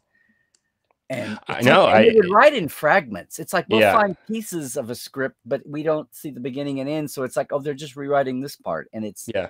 You know, and was- handwriting, Gene's handwriting on I mean, just so f- I 40 think you found like the 20 pages of the God thing. I seem to remember a PDF that that had your watermark on it, and Yeah. uh, that was fascinating to read. And like, just also like yeah, I saw a while ago that you'd found like uh, Harlan Ellison had actually pitched on the Next Generation, and I was just like, wow, that's because I genuinely. And uh, I think I talk about this on the book. It's like he was just like, "I'm out. I hate Star Trek. I never want to talk to these people ever again." and and to learn to like, oh wow, he actually did. did Well, I'll get a check, but I get to keep telling my hate story for 50 years. But I'll take a check. I'll take the check. but uh, it's so interesting to be uh, to uh, to have learned that. So it's like I just I love what you're doing. You know, just diving into doing all this archaeology here for Star Trek. It's fantastic. Here's uh, and then you have to, but the format you're doing is like you have to move on. So Jr. says LeVar merchant mentioned on the View that writers couldn't get Geordi a good romantic interest. That's one of the what's one of the uh, there are the the eh, moments now we look back even on Next Gen like that. Well, he's clearly the only one that actually has. I mean, I guess Riker has kids too, but like he's he's he's got kids now, so he's he's he's done all right for himself. Theoretically, theoretically, I guess. Yeah. Uh, do we Um, have any theories about who the mom is on? Uh because Geordi has referred to a, a mother Right. character, so Right. it's uh, who do we think that? Oh, I would so love it if it's because it would just blow because it's amazing how much they pull. Like I, the minute I heard, I saw what they had named the two girls. I went, wait, that's two. That that's two of his fake future Q future kids That's right. from Yeah. all good things. Because the That's right. whole all these years, the whole thing, the the fake Q, Brannon and Ron at the time said the fake Q future is where we get to do all the fun stuff, like have the ship go warp thirteen and have three Yes. nacelles on the Enterprise and Yeah. you know, it was the dumping ground for all the stuff they just like were kind of tweaking the form. Oh, and Yeah. having the visual effects had the they finally got to break their horizontal plane. That's right. Everything Yeah. happens in space like this, and so the whole Yeah. attack thing was just to go, ha ha, we got to do a vertical attack. Yeah. And the whole and but having him, they were gonna name they were going to name Geordi's wife, just it's a name check, right? In the scene. They were gonna make it Aquiel Mm. because that's who they always intended for him to finally bond with. But the episode wound up so horrible. They were going to redeem it with mentioning it, and then they went, "No, do we even want to bring that up again?" And then they made it Leah for Leah Brahms, Yeah. Even though she was married at the time. But it's you know people are grown ups and they get married, they get divorced, they maybe whatever. Sure. So I would still love it if they had it be Leah, but I bet there are people that would that, that would explode their brains. But she was married. I I I, I mean, they already did that, creeped, didn't they? he With creeped the... on he hollow creeped on her. So- but they re- they made up by the end of their little arc. So Yeah, and it's. I'm, I would definitely love Leah Brom too. I also wouldn't say no to Sonia Gomez coming back into the picture just for uh, a bit of that because I know initially that was talked about as a romance element, and then like the Mhm. actress was unceremoniously let go because I think she got a haircut at some point, and Paramount's head guy was not thrilled about that. But It's a lot of hair obsession with Paramount. had- it's period. amazing the hair obsession over the It's so bizarre. Also I learning about that. that about like the- But they had her back for she did the lower decks uh, captain Simon. well, yeah, that's like 30 years later. it's um, I- you know, I, that's before the time of Picard, though. that was. It's like 20, 20 years, I guess, yeah, before it's 20 Picard. years so before it's- Picard time. Yeah. Um, uh, but yeah, it's uh, that, and that was also something fascinating to learn about. Was just like they like reshot like a huge amount of the Voyager pilot because like the big guy at Paramount was just like, I don't like her hair, and it's like that's like millions of dollars you're spending here just Yeah. because. on location On back at the location, Civic yeah. Center that they just opened. Yeah, the LA Convention Center had just opened, and they were the first thing to shoot on location in there. Yeah, But madness, madness. um, and we barely said anything about Enterprise. Enterprise. yeah Uh, you know enterprise i i that was really interesting too because like that i think and i think i speak for a lot of trek fans as well is like enterprise is kind of the one show that maybe we aren't as familiar with and that's not fair to the show and i think what's what's really interesting for me is to learn more about the production learn more about the stories there and and kind of grow my own appreciation of of the series and be like you know they were really doing some interesting stuff um, especially season three and four get really good. And uh, hearing about just what it could have been with season one had, you know, their initial pitch, because initially their pitch was like, we want to do the right stuff for Star Trek. The 1st Mhm. season won't even take place in space, it'll be all on Earth developing stuff. And i'm like that sounds amazing. Like let's do that. Because that's that's the interesting Bam in a stuff and- can, part two. and you know instead we get the Right uh, the very quick, you know, very quickly Enterprise kind of in season one anyway, kind of de- turns back into an, uh, another version of Star Trek, and, and I think it's like, Mhm. You know, it and it took them a while to kind of reorient themselves, I think, and figure out just what the show would be and could be. And by the time season three comes around, though, it's like it's a good show. There's a lot of great stuff happening. Did, did you? Well, I had the uh, a year or two after cancellation from a from a right hand source. I had kind of the whole history of the projection, the the trajectory of the love affair, and then suddenly not with Yeah. UPN and about Les Moonves taking over. You know, UPN was this little silly. Th- every two years, they had new executives all running around thinking they were running a network, and they were such. And even out of the gate, the WB and UPN were like the little guys, but the WB had so much more solid shows and an identity and a brand, and Yes. UPN was just kind of flailing around with their little were, number yeah. block, their little letter blocks and Yeah. shapes, until they wind up with the wrestling thing. But um, you're like, really, really, Star Trek and wrestling. But um, the whole thing about they they were threatened with cancellation. The second season got so thin. Although there were some awesome shows, but it got really thin. Yeah. And I remember Brannon at the time making fun of Michael Piller's B story and C story. You know, like, oh, we have to have the thing for the ship while they're on the planet. Mm, But the shows in season two were getting really thin, as Yeah. much as I wanted to like them. And I was like, wow, it's just like Marauders is just the um. Um, Magnificent Seven, yeah, the Seven Magnificent Samurai, Seven yeah, yeah. from Kurosawa's. You know, it was like it's just a straight on retelling. There's no alternate, you know, B plot. And I just thought that was that was sad. And then Yeah. it like third season was their chance to redeem themselves, and it was going to be canceled. The Xindi year amped up because they were feet, you know, they they were backed against the wall, and Yeah. then fourth season was totally borrowed time, and yeah. it was one in a million. They and so to the outside world, it's like, why do you cancel it when it's finally at the best and it's finally the show we thought it would be? It's because it, it was pre-ordered anyway. anyway. You know, it, and it's true. And I So I'm try- like, I don't know how much of that you got to get into and how much. I, I Uh, remember watching the episode, the watching the Center Seats Enterprise episode, thinking they didn't really hit a lot of that on the head, or maybe they didn't get to it or whatever. But I, um, I uh, we we I definitely talk about it in there, and I know Manny Coto talks about it at great length and like kind of what Yeah. he would have wanted to do with a season five, and which is really interesting, Mhm. and like uh because you're not even just talking about like the end of, it, of Star Trek, but you're also talking about kind of the end of UPN too. Like they were just falling apart, and Yeah. And you know, Rick Berman tells the story of how like they were executives literally pitching like let's have boy bands and, in Yes. Star Trek, and it's But that was like that was out of the gate.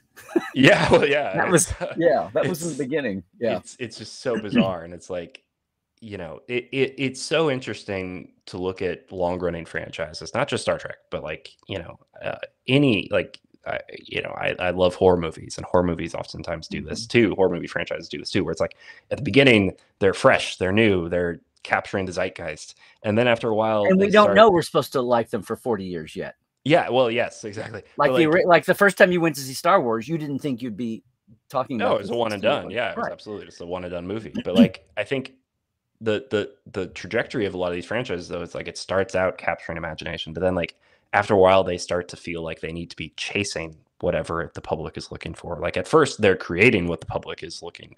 uh, Mm-hmm. the they're creating something that the public doesn't know they want, and then they they realize it and they're like oh my god star wars is the greatest thing ever you know star trek is so wonderful so amazing but like uh after a while though like a lot of these things they start to chase what they think the public wants and then that's kind of when things start to fall apart mm-hmm. and i think like enterprise kind of falls into that category where it's like not even necessarily the writers or whatever but just like the people the, the studio the the you know people who were making these big decisions were like what does the public want to see out of star trek? as opposed to like what works best for star trek and it's a tr- it's a shame because like once enterprise really does kick into gear it's great and it's it's so strong um but it just takes a little while longer. I mean there's you mentioned marauders i i still like shake my head at that one episode where it's like archer is just in sick bay and that's the whole episode like porthos is sick or something and like that's i think they were trying for a thing? comedy but, But like yeah, yeah, yeah.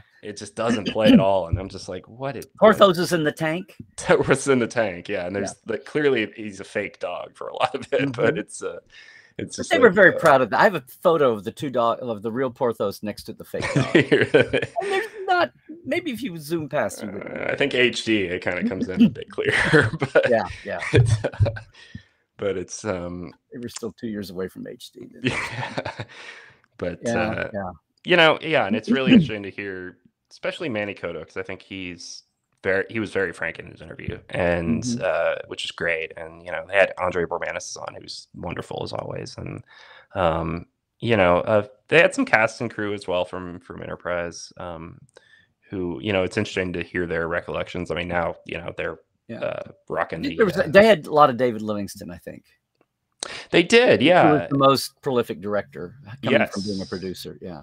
It, and that was interesting too to hear his stories of like the early days of TNG because he started out as like the line producer, Mhm, I believe, mhm, and and mhm. to hear kind of his his recollections of just trying to make this like very low budget sci-fi thing work, and you know, the first time they they did the wig fitting with Patrick Stewart, and hearing that story, it's just like, yeah, that's it sounds like a great idea right there, but it's. Uh, um you know so yeah it was all very interesting stuff Uh, Rose, who's in Germany, uh, I think I saw this announced. Had they had they talked about the DVD set of the, uh, or even well, she's saying the raw interviews, which I don't know about that, but at least the DVD Yeah. this episode. Yeah, the episodes are out right now, and you Mhm. can buy those the, on DVD uh, on Amazon right now. Um, I think there are some deleted scenes on there, but I, I don't uh, I don't imagine you'll get the full raw ten hour uh, Larry Nemecek interview anytime soon.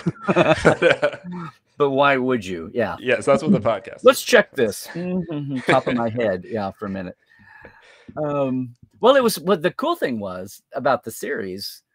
They project. They started off with eight, I think, and then after they delivered the first of the rough of the first two, History Channel said, "Oh, do a couple more of these." And so those two that are kind of like theme episodes got added on later because it was always they didn't want to get into the modern. They wanted to end with Enterprise, right? Yeah, They didn't want to start up with the modern yeah. Uh. I believe it's like eleven episodes. and have enough distance to be able to do a good job of documenting. Yeah, um, it's and, it's and have the statute of limitations end on telling stories. right of course when do, when do those actually end i feel like it, they, it keeps going up in number every year it's like uh, but the uh oh, I was Yeah, so thinking there was- social media it was getting shorter and shorter. but- right exactly um yeah i believe there was 11 episodes total and i know they did an episode that was specifically about like uh favorite ships and like ship Mhm. design and things like that and you know i kind of elected not to necessarily mirror that their episodes format just because like i know with the Right. ship one especially it's a very visual thing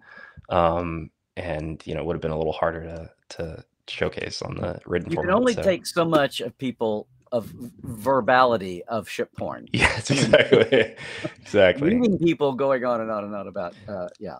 although it was fascinating to hear you know from the designers and and their work just Oh, yeah. designing the enterprise both for the motion picture but also you know for the uh, next generation and kind of you know, stuff that I think a lot of viewers just take for granted. It's like, yeah, here's a set and we're on this set. But it's like the set design and production design for Star Trek was just so gorgeous from the word Mm-hmm. go. And and that's part of the reason why season one of TNG looks so small is because they spent a shit ton of money on their sets. and it's uh, you know, and then they had and then they had a DP that shot them all muddy and yes, yeah. exactly. But who didn't uh, who didn't stay long. And then Marvin Rush was like a part of the it's like third season was Marvin Rush on stage and Michael Piller on in the writers room. And and I think uh uh Bob Bob Blackman as the costume designer as well, who's I think a very important aspect to the third season. Mhm. It's interesting too. I've been rewatching the third season recently, and like it's, I think I'm just noticing it for the first time, but it's like there is actually like a, you know, we all love the redesign of the uniforms, they, but there's actually they, like were expensive. They had to cycle them in slowly. they had to cycle in, but like I think it's interesting that there's actually like a proto version of the new version we get for like five or six episodes, and it's kind of like a, a it's more of like a rounded top up here, which I think wasn't intentional. I think maybe it was like they tried for the straight, but then just the body contours kind of made it a bit more round, and well, I think there's like a little went- bit of like a pleated Yeah. kind of cut down the middle. It looks more tailored. It looked thicker than the well, later part of it was the original ones were the it was spandex. It was and they were spandex, yeah. killing their backs, yeah but it was all in one piece. And you know, and I think part of what they did going into third season was a lot of the background people still had that. They may have tried to rejig the collar, but they cut it in half. They made it a two piece, right right right right you know, or they give them black pants and take the top. And yeah you see background people still with the old yoke collar. Yeah. the yeah. yeah Or They which try you to it's just- modify it a little. This is part of the thing of television, right? It's like you can't just suddenly produce, you know, 200 new costumes overnight. It takes time. It's just to- a replicator file. What's the big deal? It's just molecule. yeah, it's it's nothing. You just 3D print that shit. Yeah, I've got this there. comment here from Dominic uh, Negro who says the IMDb reviews of the current Trek shows. So how far we need to go to get to the Trek future? They yelled woke Trek from the first episode of Strange New Worlds, which is amazing now because the same thing happened with with Discovery, but Discovery became the show that everybody kicked around for a long time for various reasons. But now everybody's oh, Strange New Worlds is best thing since sliced bread. But that's true. In the first episode, Pike walks on the bridge, and without Spock there, you realize so I was like, it's all women on the bridge. Well, that's interesting. But a, a lot of people that wasn't interesting. It was like, but um, it's yeah, it's a sign that some of that's the online aspect. I still say when you're at a, where are all the hater fans? When you're at a live convention, when you're at a live event, no one Sure. talks that way and acts that way. It's only, you know, It's only online, and I think you know, I think it's you talk about this in in the interviews, but it's like Star Trek's always been that way. Like it's this isn't new. This is uh regardless of what the quality level of any of the shows are. It's like it's always been accused of you know pandering to uh, modern sensibilities. And it's so what a interesting to like concept! An entertainment property that panders to modern sensibilities because it wants to survive with the best numbers and profit margin. What a I, I, It's well, I think it's so fascinating. To, I, I this isn't Star Trek, but like I watched an old convention panel that was done in '77 for Star Wars, and uh, you know Mark uh, Hamill and um, uh, Carrie. Yes, Gary. I'm just having to switch my brain over to Star Wars, but it's uh, uh, Gary Kurtz, who's the producer. They're doing this Kurtz, panel for uh, for you know for sci-fi people to try to drum up interest for Star Wars because this is before Star Wars even comes out, and like the questions are all just so like like you know are you gonna have a diverse cast like all these stupid people on TV are doing right now, and, and it's just it's like why why would you even ask that question? But this is a question that was coming up in '77 too, and it's it's just like nothing is really new under under Would the you sun in have a terms of- diverse cast like all the stupid people on TV are doing? I, I genuinely don't don't understand. no, we're going to do our like- best to stagnate and represent Yes. the smallest slice of the audience, both both uh, uh, aspirationally and economically. We're going Yes. to try to. It was it, it was so crazy because I, I heard that and I was just like, good God, like this really has been hap- you know people have been complaining about this stuff for for The pew pew, decades the pew pew boys, yeah. yeah, but it's Um, uh you know and I think yeah and uh, that's been interesting to hear about with the book as well is that like it's you know the kind of the Harlan Ellison people who are just like Star Trek's not real sci-fi. We we have our we like sci-fi differently, and it's just now we look back on Star Trek as being kind of like one of the best aspects of science fiction in the last you know hundred well, years. and it's- certainly it certainly. I mean, whether it's just like, "Hi, I'm a card carrying member of a sci-fi, being a sci-fi fan," or Yeah. it's just being exposed to the ideas, or just thi- thinking about possibilities, whether they're in the future or right now or whatever, and whether it's social or technological or or whatever. Yeah. Um, but no, that's the old. That's the the original gatekeeping was the media litcon split. And it's like, well, this is that's good that you enjoy Spock, but you really need to read your foundational. You really need to read your Asimov and your Heinlein and your go down the, you know. Yeah. Oh, okay. Well, you're not true fans if you're not reading all your basics. Fine. Why don't you guys just go off and start your own convention if this is if you know, and they're like, fine, we will, and that's bang. So Yeah. that's why I say I look at around at Comic Con, you know, of all the different franchises, and I go, you do know that this is here because of Star Trek. Like Yeah. you do know that you know It's because the true. comic convention used to be old guys rifling through dirty, dusty boxes of comics, and that Yeah. was a comic convention. yeah, it was that was a comic convention. It's, Yeah. uh, yeah, and it's you know it was really great too, just to like hear about the stories of just you know the the the convention scene in the in the you know 70s and and just Mhm. how like you know Like I wasn't a comics fan. Why would I go to a comic? yeah. And you know it's uh i don't know if i added any of this into the book but like it's i just to learn more about even just like the star trek comic books which have been especially in the 70s were just wonderful. And just you know a lot of the uh the the news news strip comics that came out after the motion picture that kind of carried on that storyline they're theyey're fantastic. And use those that era and those yeah well my friend rich handley's working i think he's been Yeah. like an expert in all of that and he's i think he's finally working on a book or something Oh, it's great. I know he was so yeah, he was so instrumental with getting a lot of the when Eaglemoss was still a thing. Like they were they were doing some great stuff over there Mhm. with their with their releases. well back in the day first time he got to write was articles for me for the communicator Ah, Communicator awesome. magazine. Yeah.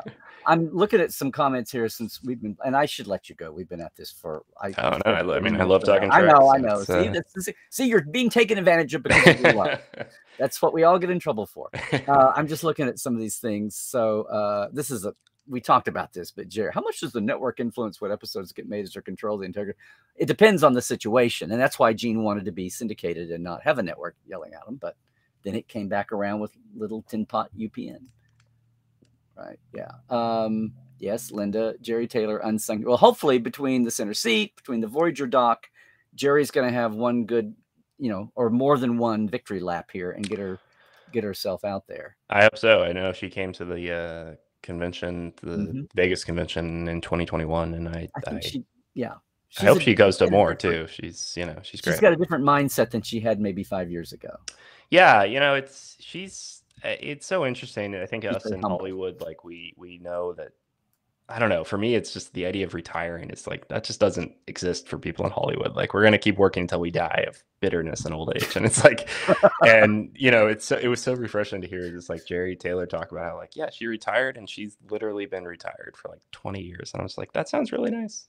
Yeah. You know, I don't I don't think any of us will ever get there, but that sounds that sounds really lovely. Well, then we, we were talking about Geordi's wife, and people Yeah. were like, "Yeah, Geordi's wife," Linda says, and uh, she must be human because Alandra said, "As much as we can tell." Because all aliens were looking human. Like ninety percent of the aliens in the original series were human. That's very true. Um, and she thinks Sonya Gomez. Of course, now if I was trying to do the math on this, if Sydney Sydney's older than Alandra, and so if she's if she's uh if they're ensigns, so they're like 22, 23, 24, 25 ish. Yeah. And this is 2401 or 02. So then we're talking about 20 uh, 75, 76, 77. So it's like before Nemesis. Do we though? Do we know how much time has elapsed in the three seasons of Picard? Because I, in the third season, Picard even references to like stuff that happened Mm-hmm. years ago that was would have been season one of or Picard. was it a, so was it a flashback or no, it was like uh, I- I think he was talking about like Data's death in season one and like referring to it as years ago. So I'm I'm kind of just wondering if Well, like the pandemic did it to him too. So it's, we- it's yeah, no, it's, we have I no just wonder if like it could be maybe more like the, the series takes place over like five years or something. I just I I'm sure some somewhere they've, They've- they've- solidified that, but like well, they've uh, really solidified this one because it's the the 250 years after 2151. So now it's in 01. What Mm. Okay. what gets me is, and I have to, I keep talking about this every week, but in the first episode of season three, doesn't he say, Mm-hmm. "Oh yes, I'm going to be talking at Frontier Day in a week"? yes, The whole 10 episodes, the whole ten episodes. all this yeah, dipping around known space yeah. is all with I keep saying that and and they started and then they would say in 72 hours in 48 hours and the last three episodes it's like it's and I love it now every time they say it it's it's Frontier Day is hours away I mean like Geordi just said it it's hours away and it's like yeah, hours it's away. Yeah. micro warp drive filter hours Yeah. away. Are you gonna try to get to that uh, IMAX screening in uh, here in LA? I I will week? see I'm gonna see Yeah. that going um Looks very exciting because apparently Frontier Day is going to be quite an event. So it's, it's uh, yeah it's the new thing um jr says whoever it is she can say whenever you're touching the engines you're making me want a divorce geordi very good jr um well this is what i was going to say scott we're talking about janeway's hair the, her, her they she just started off with her normal wedge which is what kate wore and by the time it was all said and done that's what they wound up with Mm-hmm. Yeah. you know after It- two or three years they there has been a couple of pictures that have come out recently of the original shoot. Like they really tried to like bury Oh, that footage. Yeah, you, Yeah, okay, there's- yeah, no, yeah. I've well, had, we've we've showed those at cons years ago. oh, yeah, yeah, yeah. There you go. But it's uh, Yeah. it's it's a little. I, I felt it was a little sleeker than maybe her normal Mhm. hair would have been. But And like she it was looks, in TV Guide with that shot. I mean, when Yeah. they were doing the early promo, yeah, and it, it looks good. I mean, I'm just like it looks it looks fine. It it- looks and fine. you know, the bun, they were trying to grandma. yeah, it's a weird look. I, I'm not not a big fan. But. yeah, yeah, yeah. Uh, some talk here about uh, Kes. Uh, I'm not going to try to. what is this? Ironically, boy bands might have worked on DS9 over a certain bearded man's consternation. Yeah. Um, um, um, um, um, such a bummer that there's no Blu-ray. Can't believe we're making DVDs only in 2020. Really? Oh, they're not. Well, that's a that's a startup question. They're talking about for the center seat, I think. Scott. yeah, I think that's, a, uh, that's a startup cost yeah, production question. yeah. Blu-rays are and Yeah. they're they're pricey, unfortunately. I, And all, here's our Europeans. Christoph is saying he's from Austria. Center seat are available. They're always reminding me what the European situation is versus. uh, region-free Blu-ray players, people. They they really Mhm, are. mhm. I, I order stuff from the UK all the time because it's uh, Mhm. and it, it's it's a lifesaver. It's great.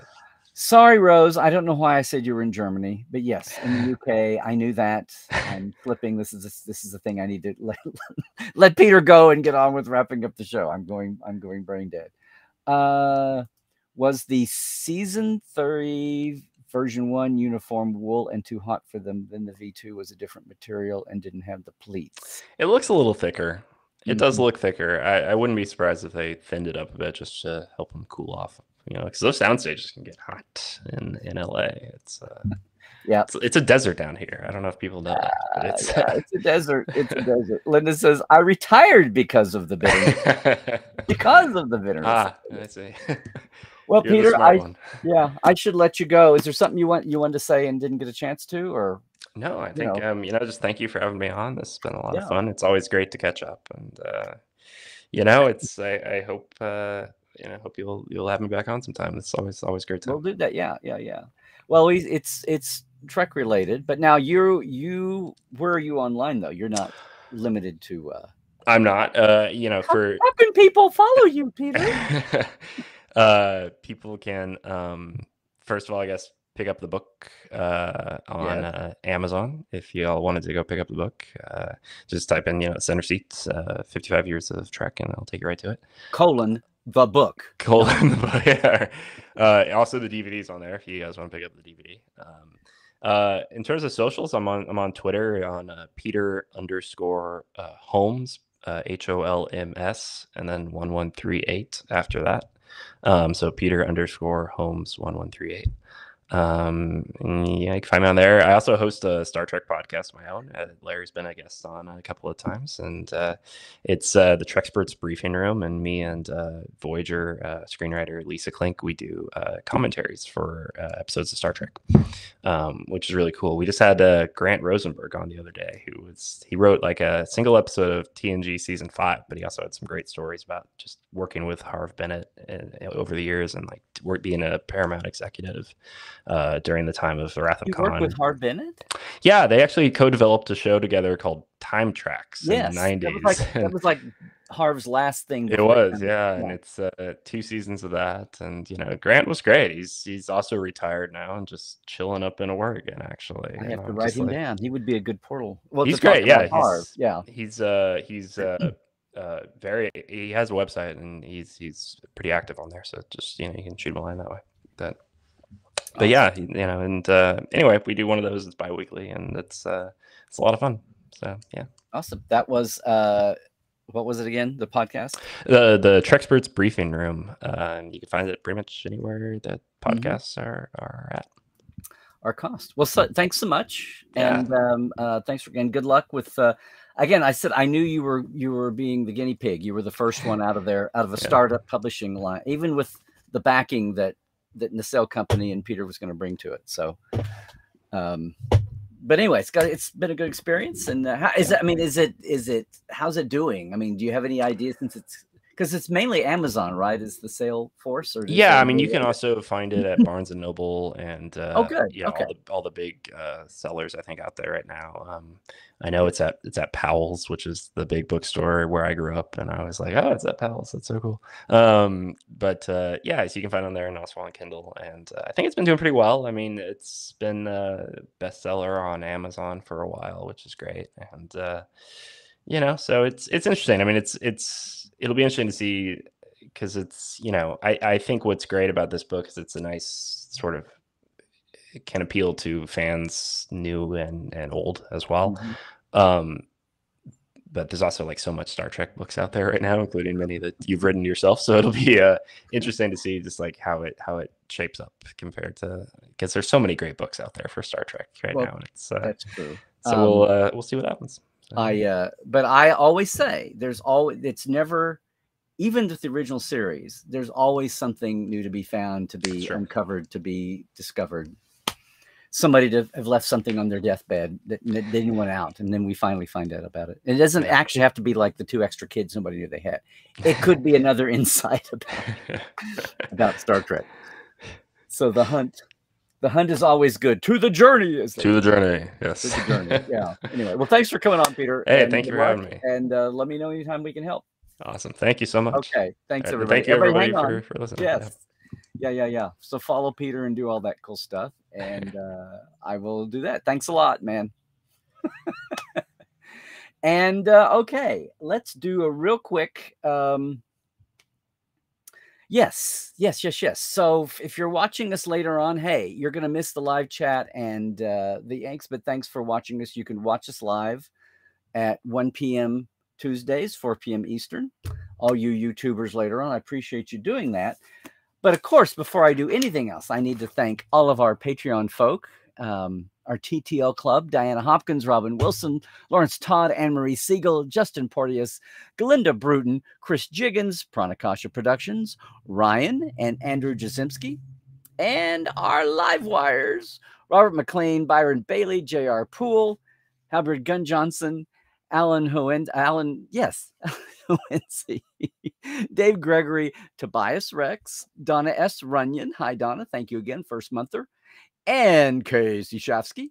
It's easy, it's simple. I appreciate everybody helping us out with this end of Trekland. It's five and 10 bucks a month for your shout out. And then the $10 folk get access to the first generation of behind the scenes Portal 47 guest interviews that we did before no one knew how to Zoom and we were free conference calling. Anyway, there it is. It's patreon.com slash Trekland Live. And we are well launched into season 10 of the Trek Files. So I hope you'll go over and check that out. This week, as we filmed this live, our guest was once again the great, no, not once again, it's his first time on, the great illustrator, art designer, ship designer, John Eaves himself, the man, the myth, the legend, the goofball, uh, talking about what's involved when you take something known and prized and wonderful like original Star Trek and update it. And we're looking again at some 1987 foundational TNG docs. But of course, it's an issue that's relevant anytime there's a new Star Trek startup or someone's do a prequel or a far in the future show. And of course, John's been there in the middle of all that. So we're over on Facebook with the documents. You can get Trek files wherever fine podcasts are caught. And all the Roddenberry podcasts are at Roddenberry at podcast.roddenberry.com. And if you're leaving us now, it's at Larry Nemecek for Twitter, Mastodon, even Facebook and Instagram and YouTube. Please like and subscribe if you're watching this now. Larry Nemecek's Trekland and Portal47.net. Your mini con all year long, no matter where your center seat is in the world. Love to have you join us live sometimes you can, but thank you for watching right now. Meanwhile, everybody with us. Hang on. We're going to do uh, the quick break thing, and I'll come back and we'll dive into the chat and a quick look at the parrots because it's an exciting time. Whew. But if you're leaving us now, everybody, please stay healthy, do all the things, stay woke, check your sources, and trek well. And thanks, Peter.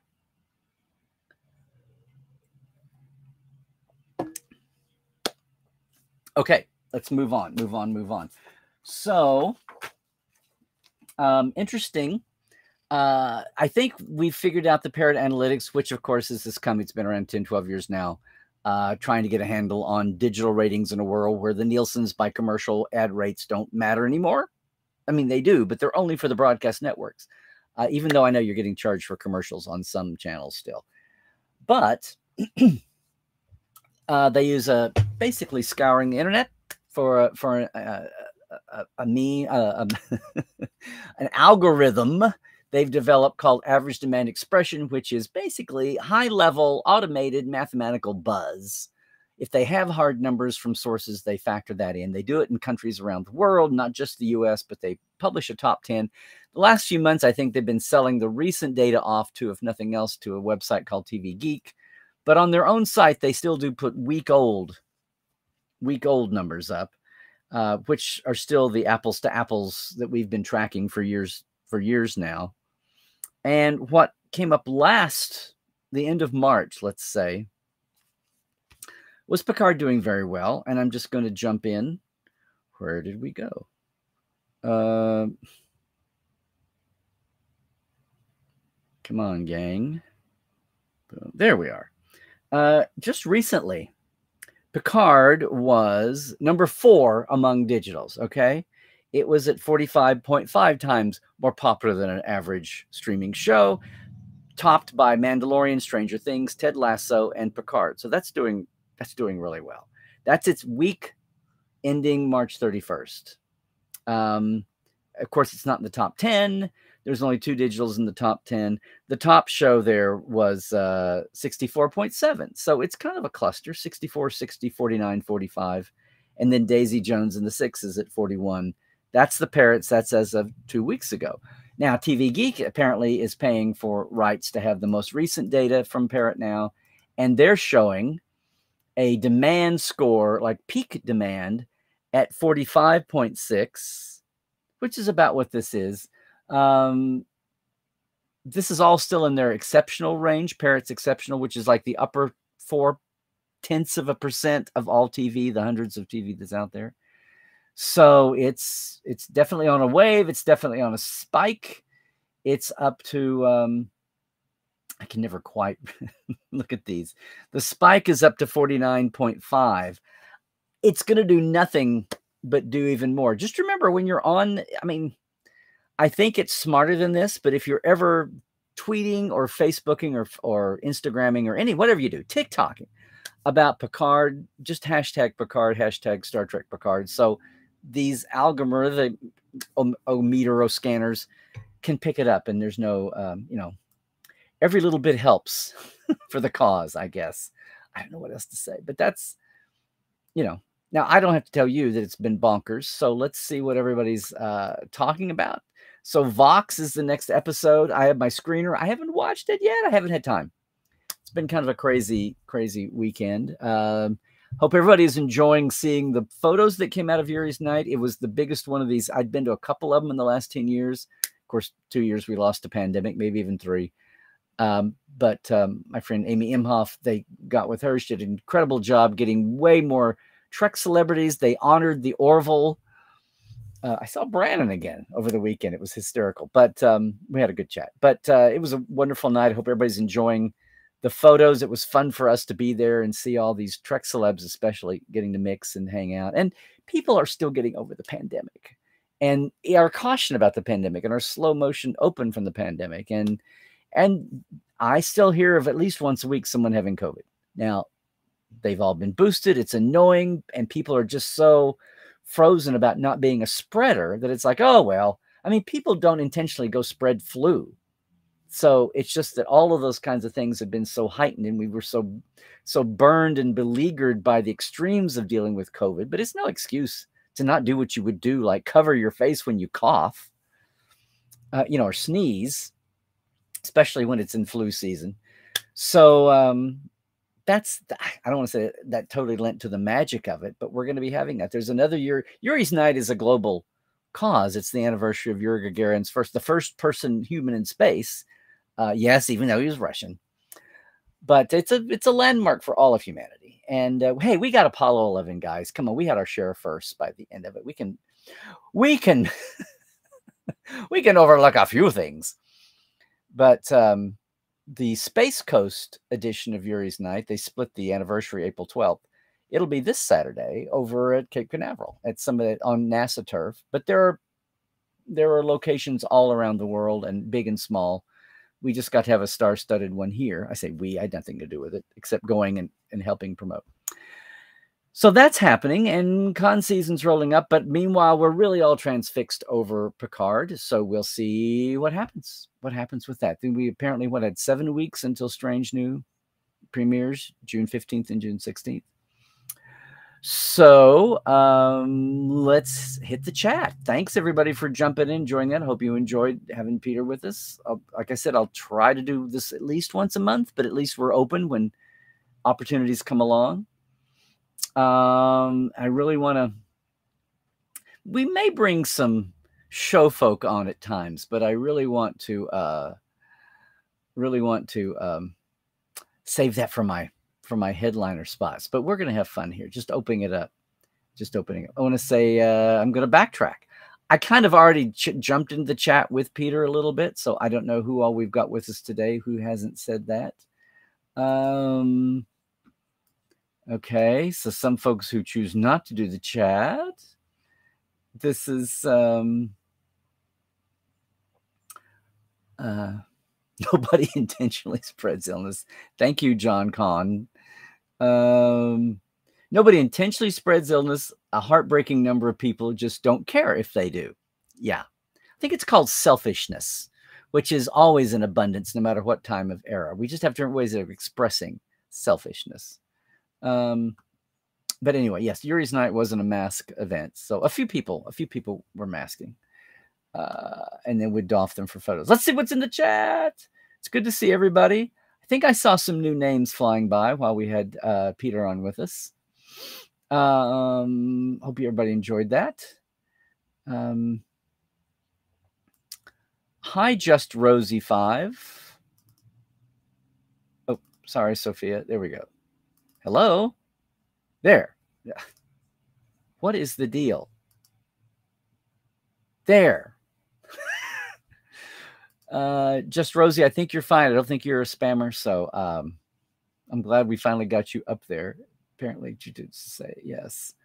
Um, it's hey, uh, Sophia, the whole thing about the Facebook versus the other two, it's not my deal. It's apparently whatever's in the coding Facebook does.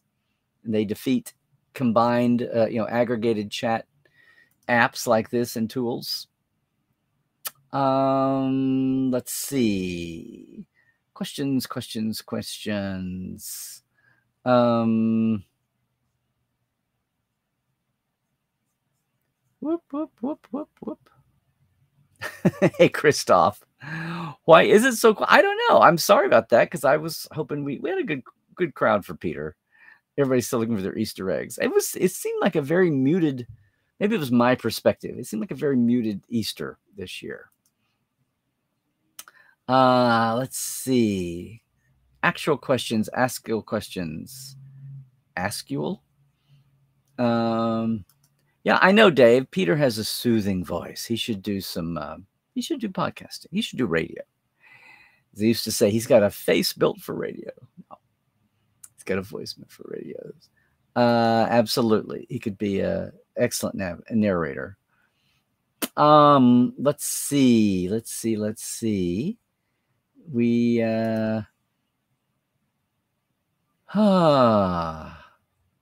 Hey, everybody, let me know if you, um, a lot of people saw the center seat, a lot of, and there's, there's little bits and pieces. You know, we, we didn't mention Gates, what a great job she does narrating it because the script, the linking narrative parts was um, very adroit sometimes, and it would turn on a dime and be very kind of witty.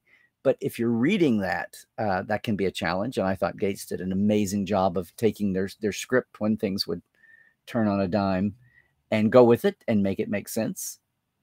So I didn't give a shout out enough again for uh, Gates. So I'm curious. I mean, I know a lot of people have and some haven't, and I think it's now free on Prime. You don't have to see the back. You don't have to pay for History Vault to get the back end. I think it's all on Prime now. Could be wrong. It's on one of the major ones. I don't think it's Netflix. I think it's on Prime for free. Um, if you have Prime, obviously uh, to app and stream. Uh, but let me know if anybody actually gets Peter's book or um, or the DVDs, not Blu-rays. Uh, but I knew there would be problems just getting the business set up, the, like he said, the infrastructure. Um, dum dum dum dum dum. Anyway, good to see everybody. Uh, we got the Tholian web, and what? who was it that said this eventually? Um,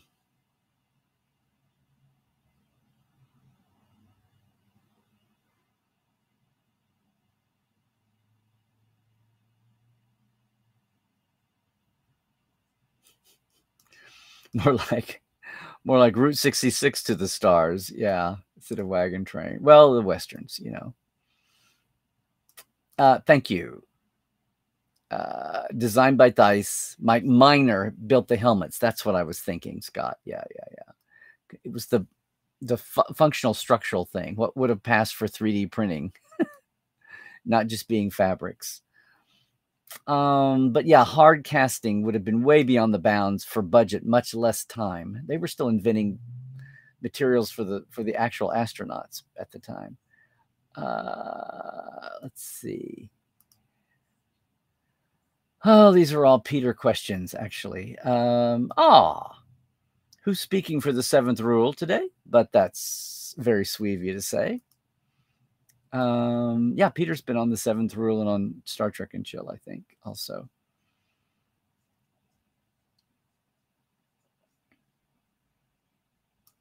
Hey, Rose, will there be a captain's chair with multiple captains on Blu-ray DVD in the future? Well, you know, Dave Zappone's uh, film company worked with Shatner, and they did that whole Captain series uh, through Jonathan.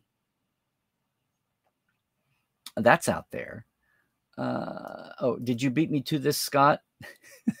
you may have posted this before I said it on camera, but yes, yes, Feinbergers. I mean, D called his medical scanner his Feinberger, and uh, then Bob Justman would illuminate that, uh, elongate that to. Uh, I just remember one time seeing uh, Feinberg operating Framazam, uh, which I think I think it's rec- Bjo recorded that in the concordance somewhere.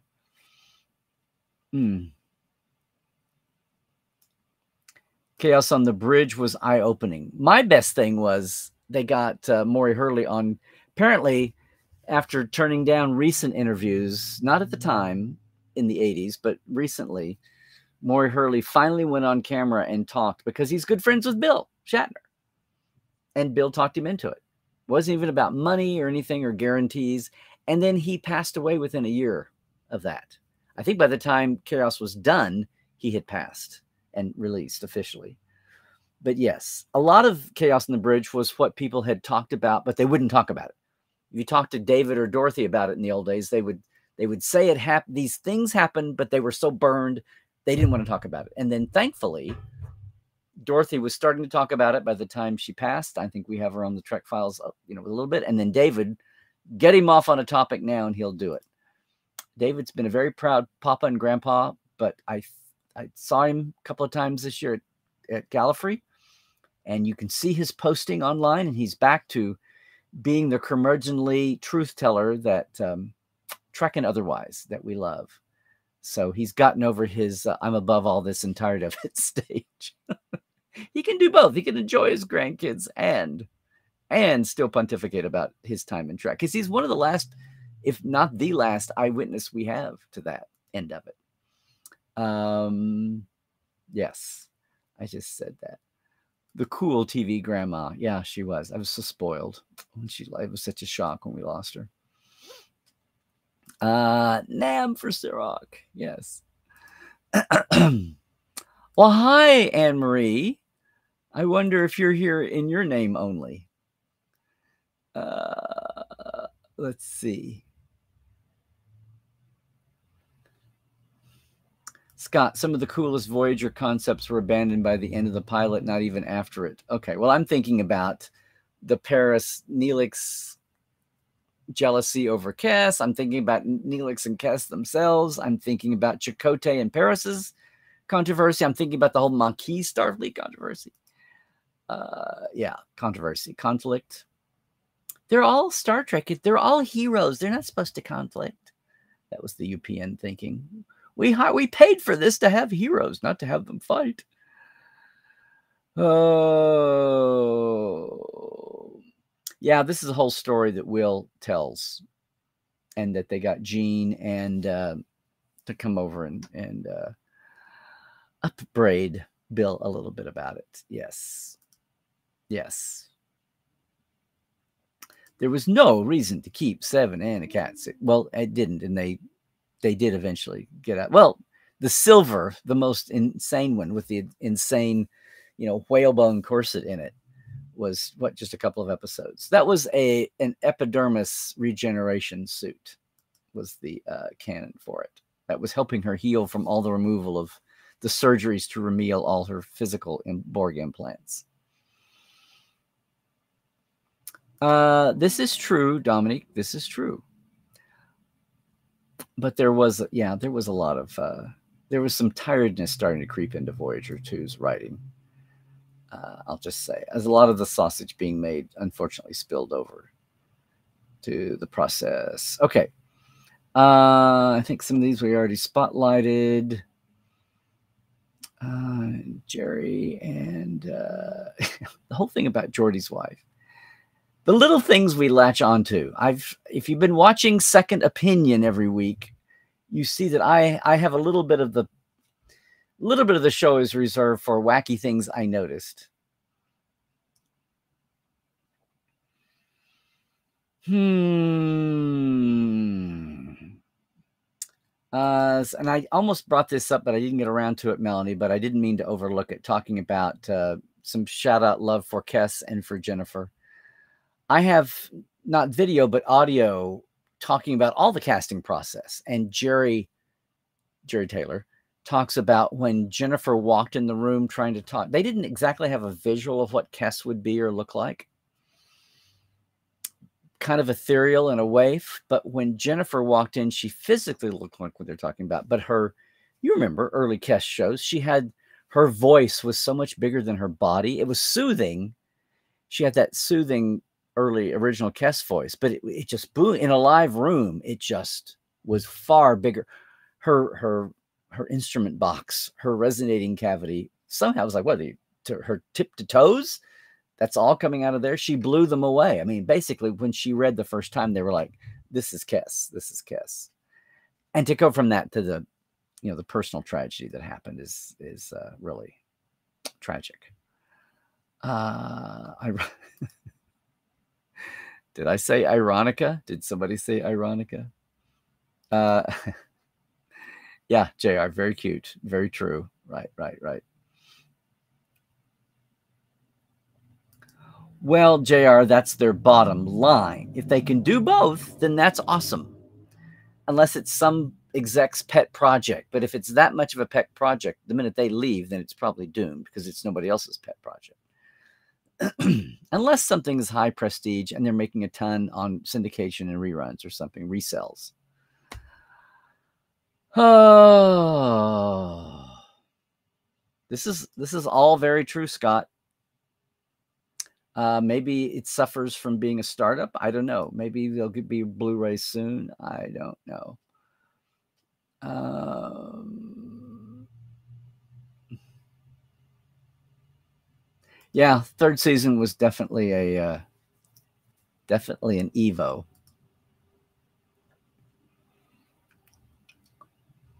Okay, we got through our uniform questions. Uh, yeah, I guess you guys weren't typing because you were so spellbound by a guest. That happens sometimes. Uh, no offense taken. Mm. Uh, I'm glad you enjoyed. Glad you enjoyed, Dave. Uh, let's see. That's his show. Trexperts briefing room. Mm, mm, mm, mm, mm. Let me see what we say. I always try to do that in my Char voice, my my Charlene Schmidt voice. To the journey. Uh, maybe some fans there for it. Uh, let's see. Oh, parents. Thank you, Christoph, once again. Um, um, um, um, um, um, yeah, Glenn, didn't you think so? It was hard. It was hard not to have awesome, awesome photos. Mm, mm, mm, mm. Thank you. It'll be great to see you, Michael, in Indy again in the fall. This is probably true. Just hoping that COVID doesn't keep evolving and suddenly we have a breakout where all of our existing safeguards, the, vaccinations and things, you know, the vaccinations that are dropping billions dead as we speak, uh, have that everything is suddenly rendered moot and useless. That would be that would be horrific. That suddenly there's some big leap in mutation. Uh, so it still needs to be kept under, you know. Um,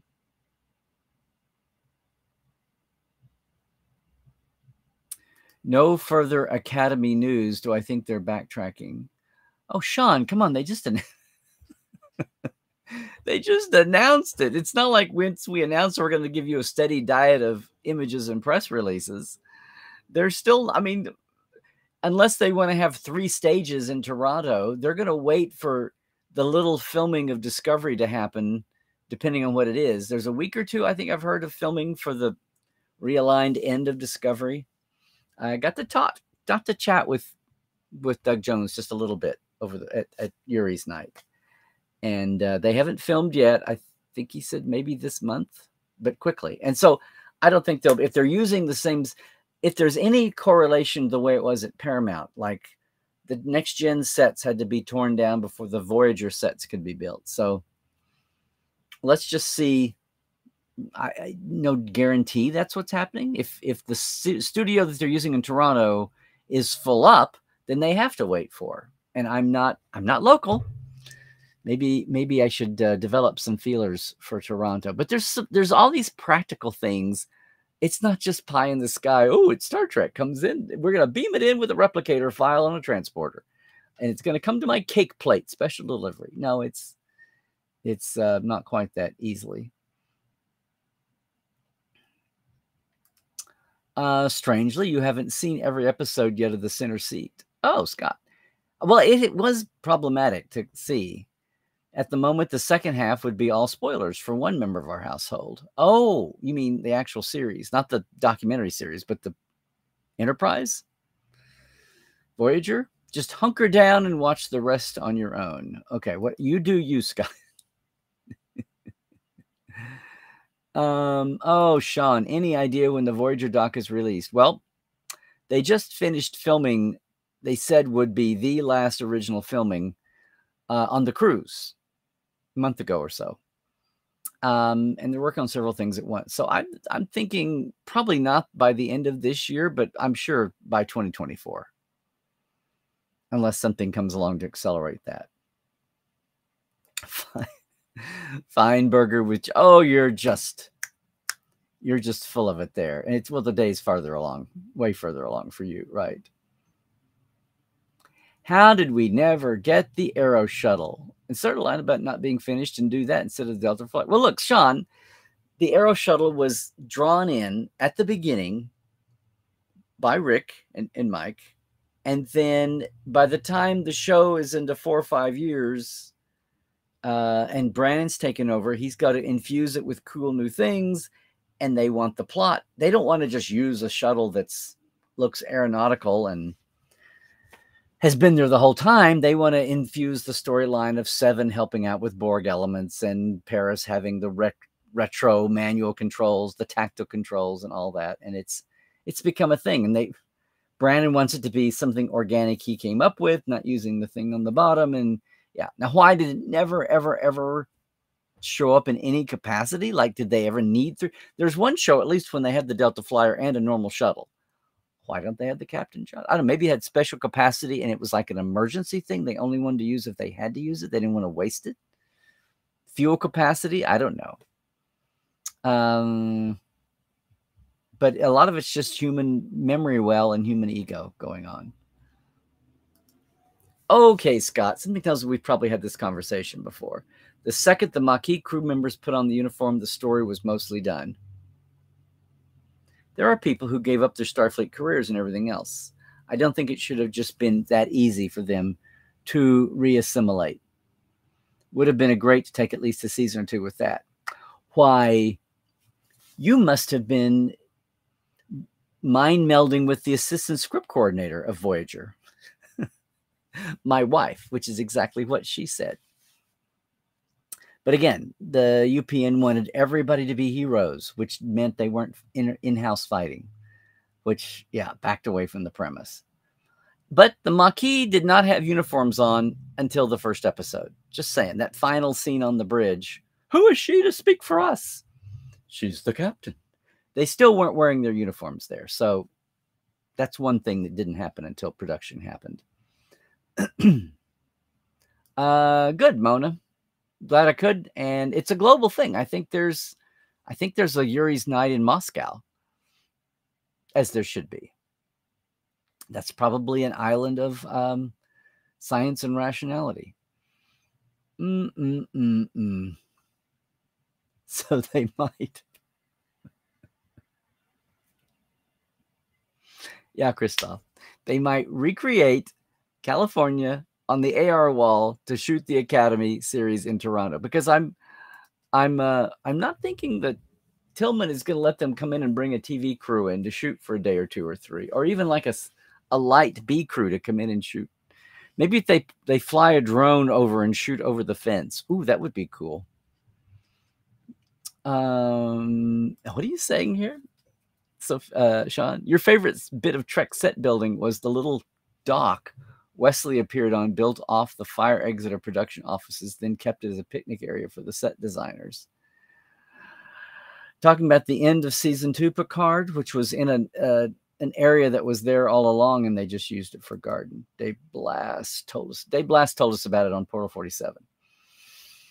Um,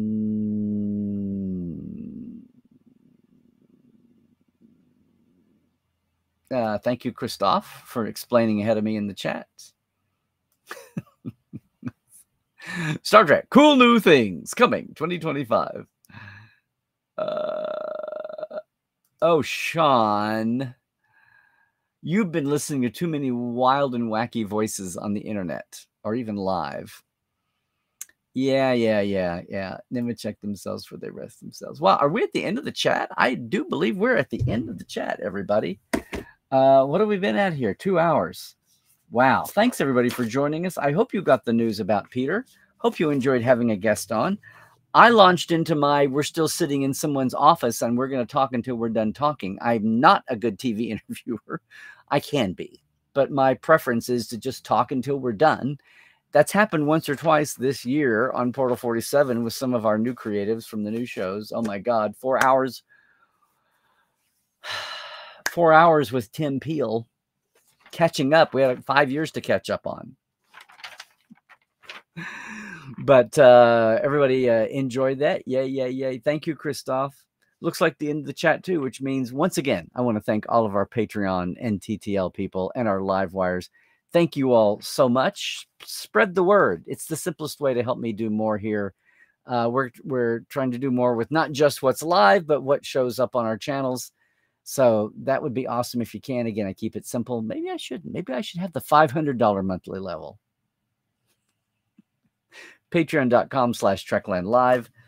That's there. And yes, the Trek Files this week, the great John Eaves talking about the difficulties in updating any Star Trek for the time. And our docs, of course, are what was going through people's minds in 1987 on that original Brain Trust, trying to do the thankless job of catching lightning in a bottle for a second time. Otherwise, all around the, the uh, interwebs, I'm Larry Nemecek at Twitter and even Mastodon. Larry's Trekland on Facebook and Instagram. Please like and subscribe us on Instagram. I think I just went over 2000 on Instagram. I just we just did some landmark. And most of all, please even if you're not on YouTube right now, go over and subscribe to us on YouTube. We'd appreciate it. Portal47.net as I say is where you can get all the backstage folks. It's all the, the Star Trek you had no idea you had no idea about. Thanks everybody for joining us here, being in the chat. Uh, spread the word there. And um, oh, Mona, I see what you just said here. There should be a mini Yuri's night gathered around Kate's, Kate Janeway's, Kathryn Janeway statue there in Bloomington. Yes, I believe so. I'm going to ordain that. I'm going to just say that should happen. Um, thank you, Christoph. Like and subscribe on all channels and spread the word. JR, you are. Wait, what?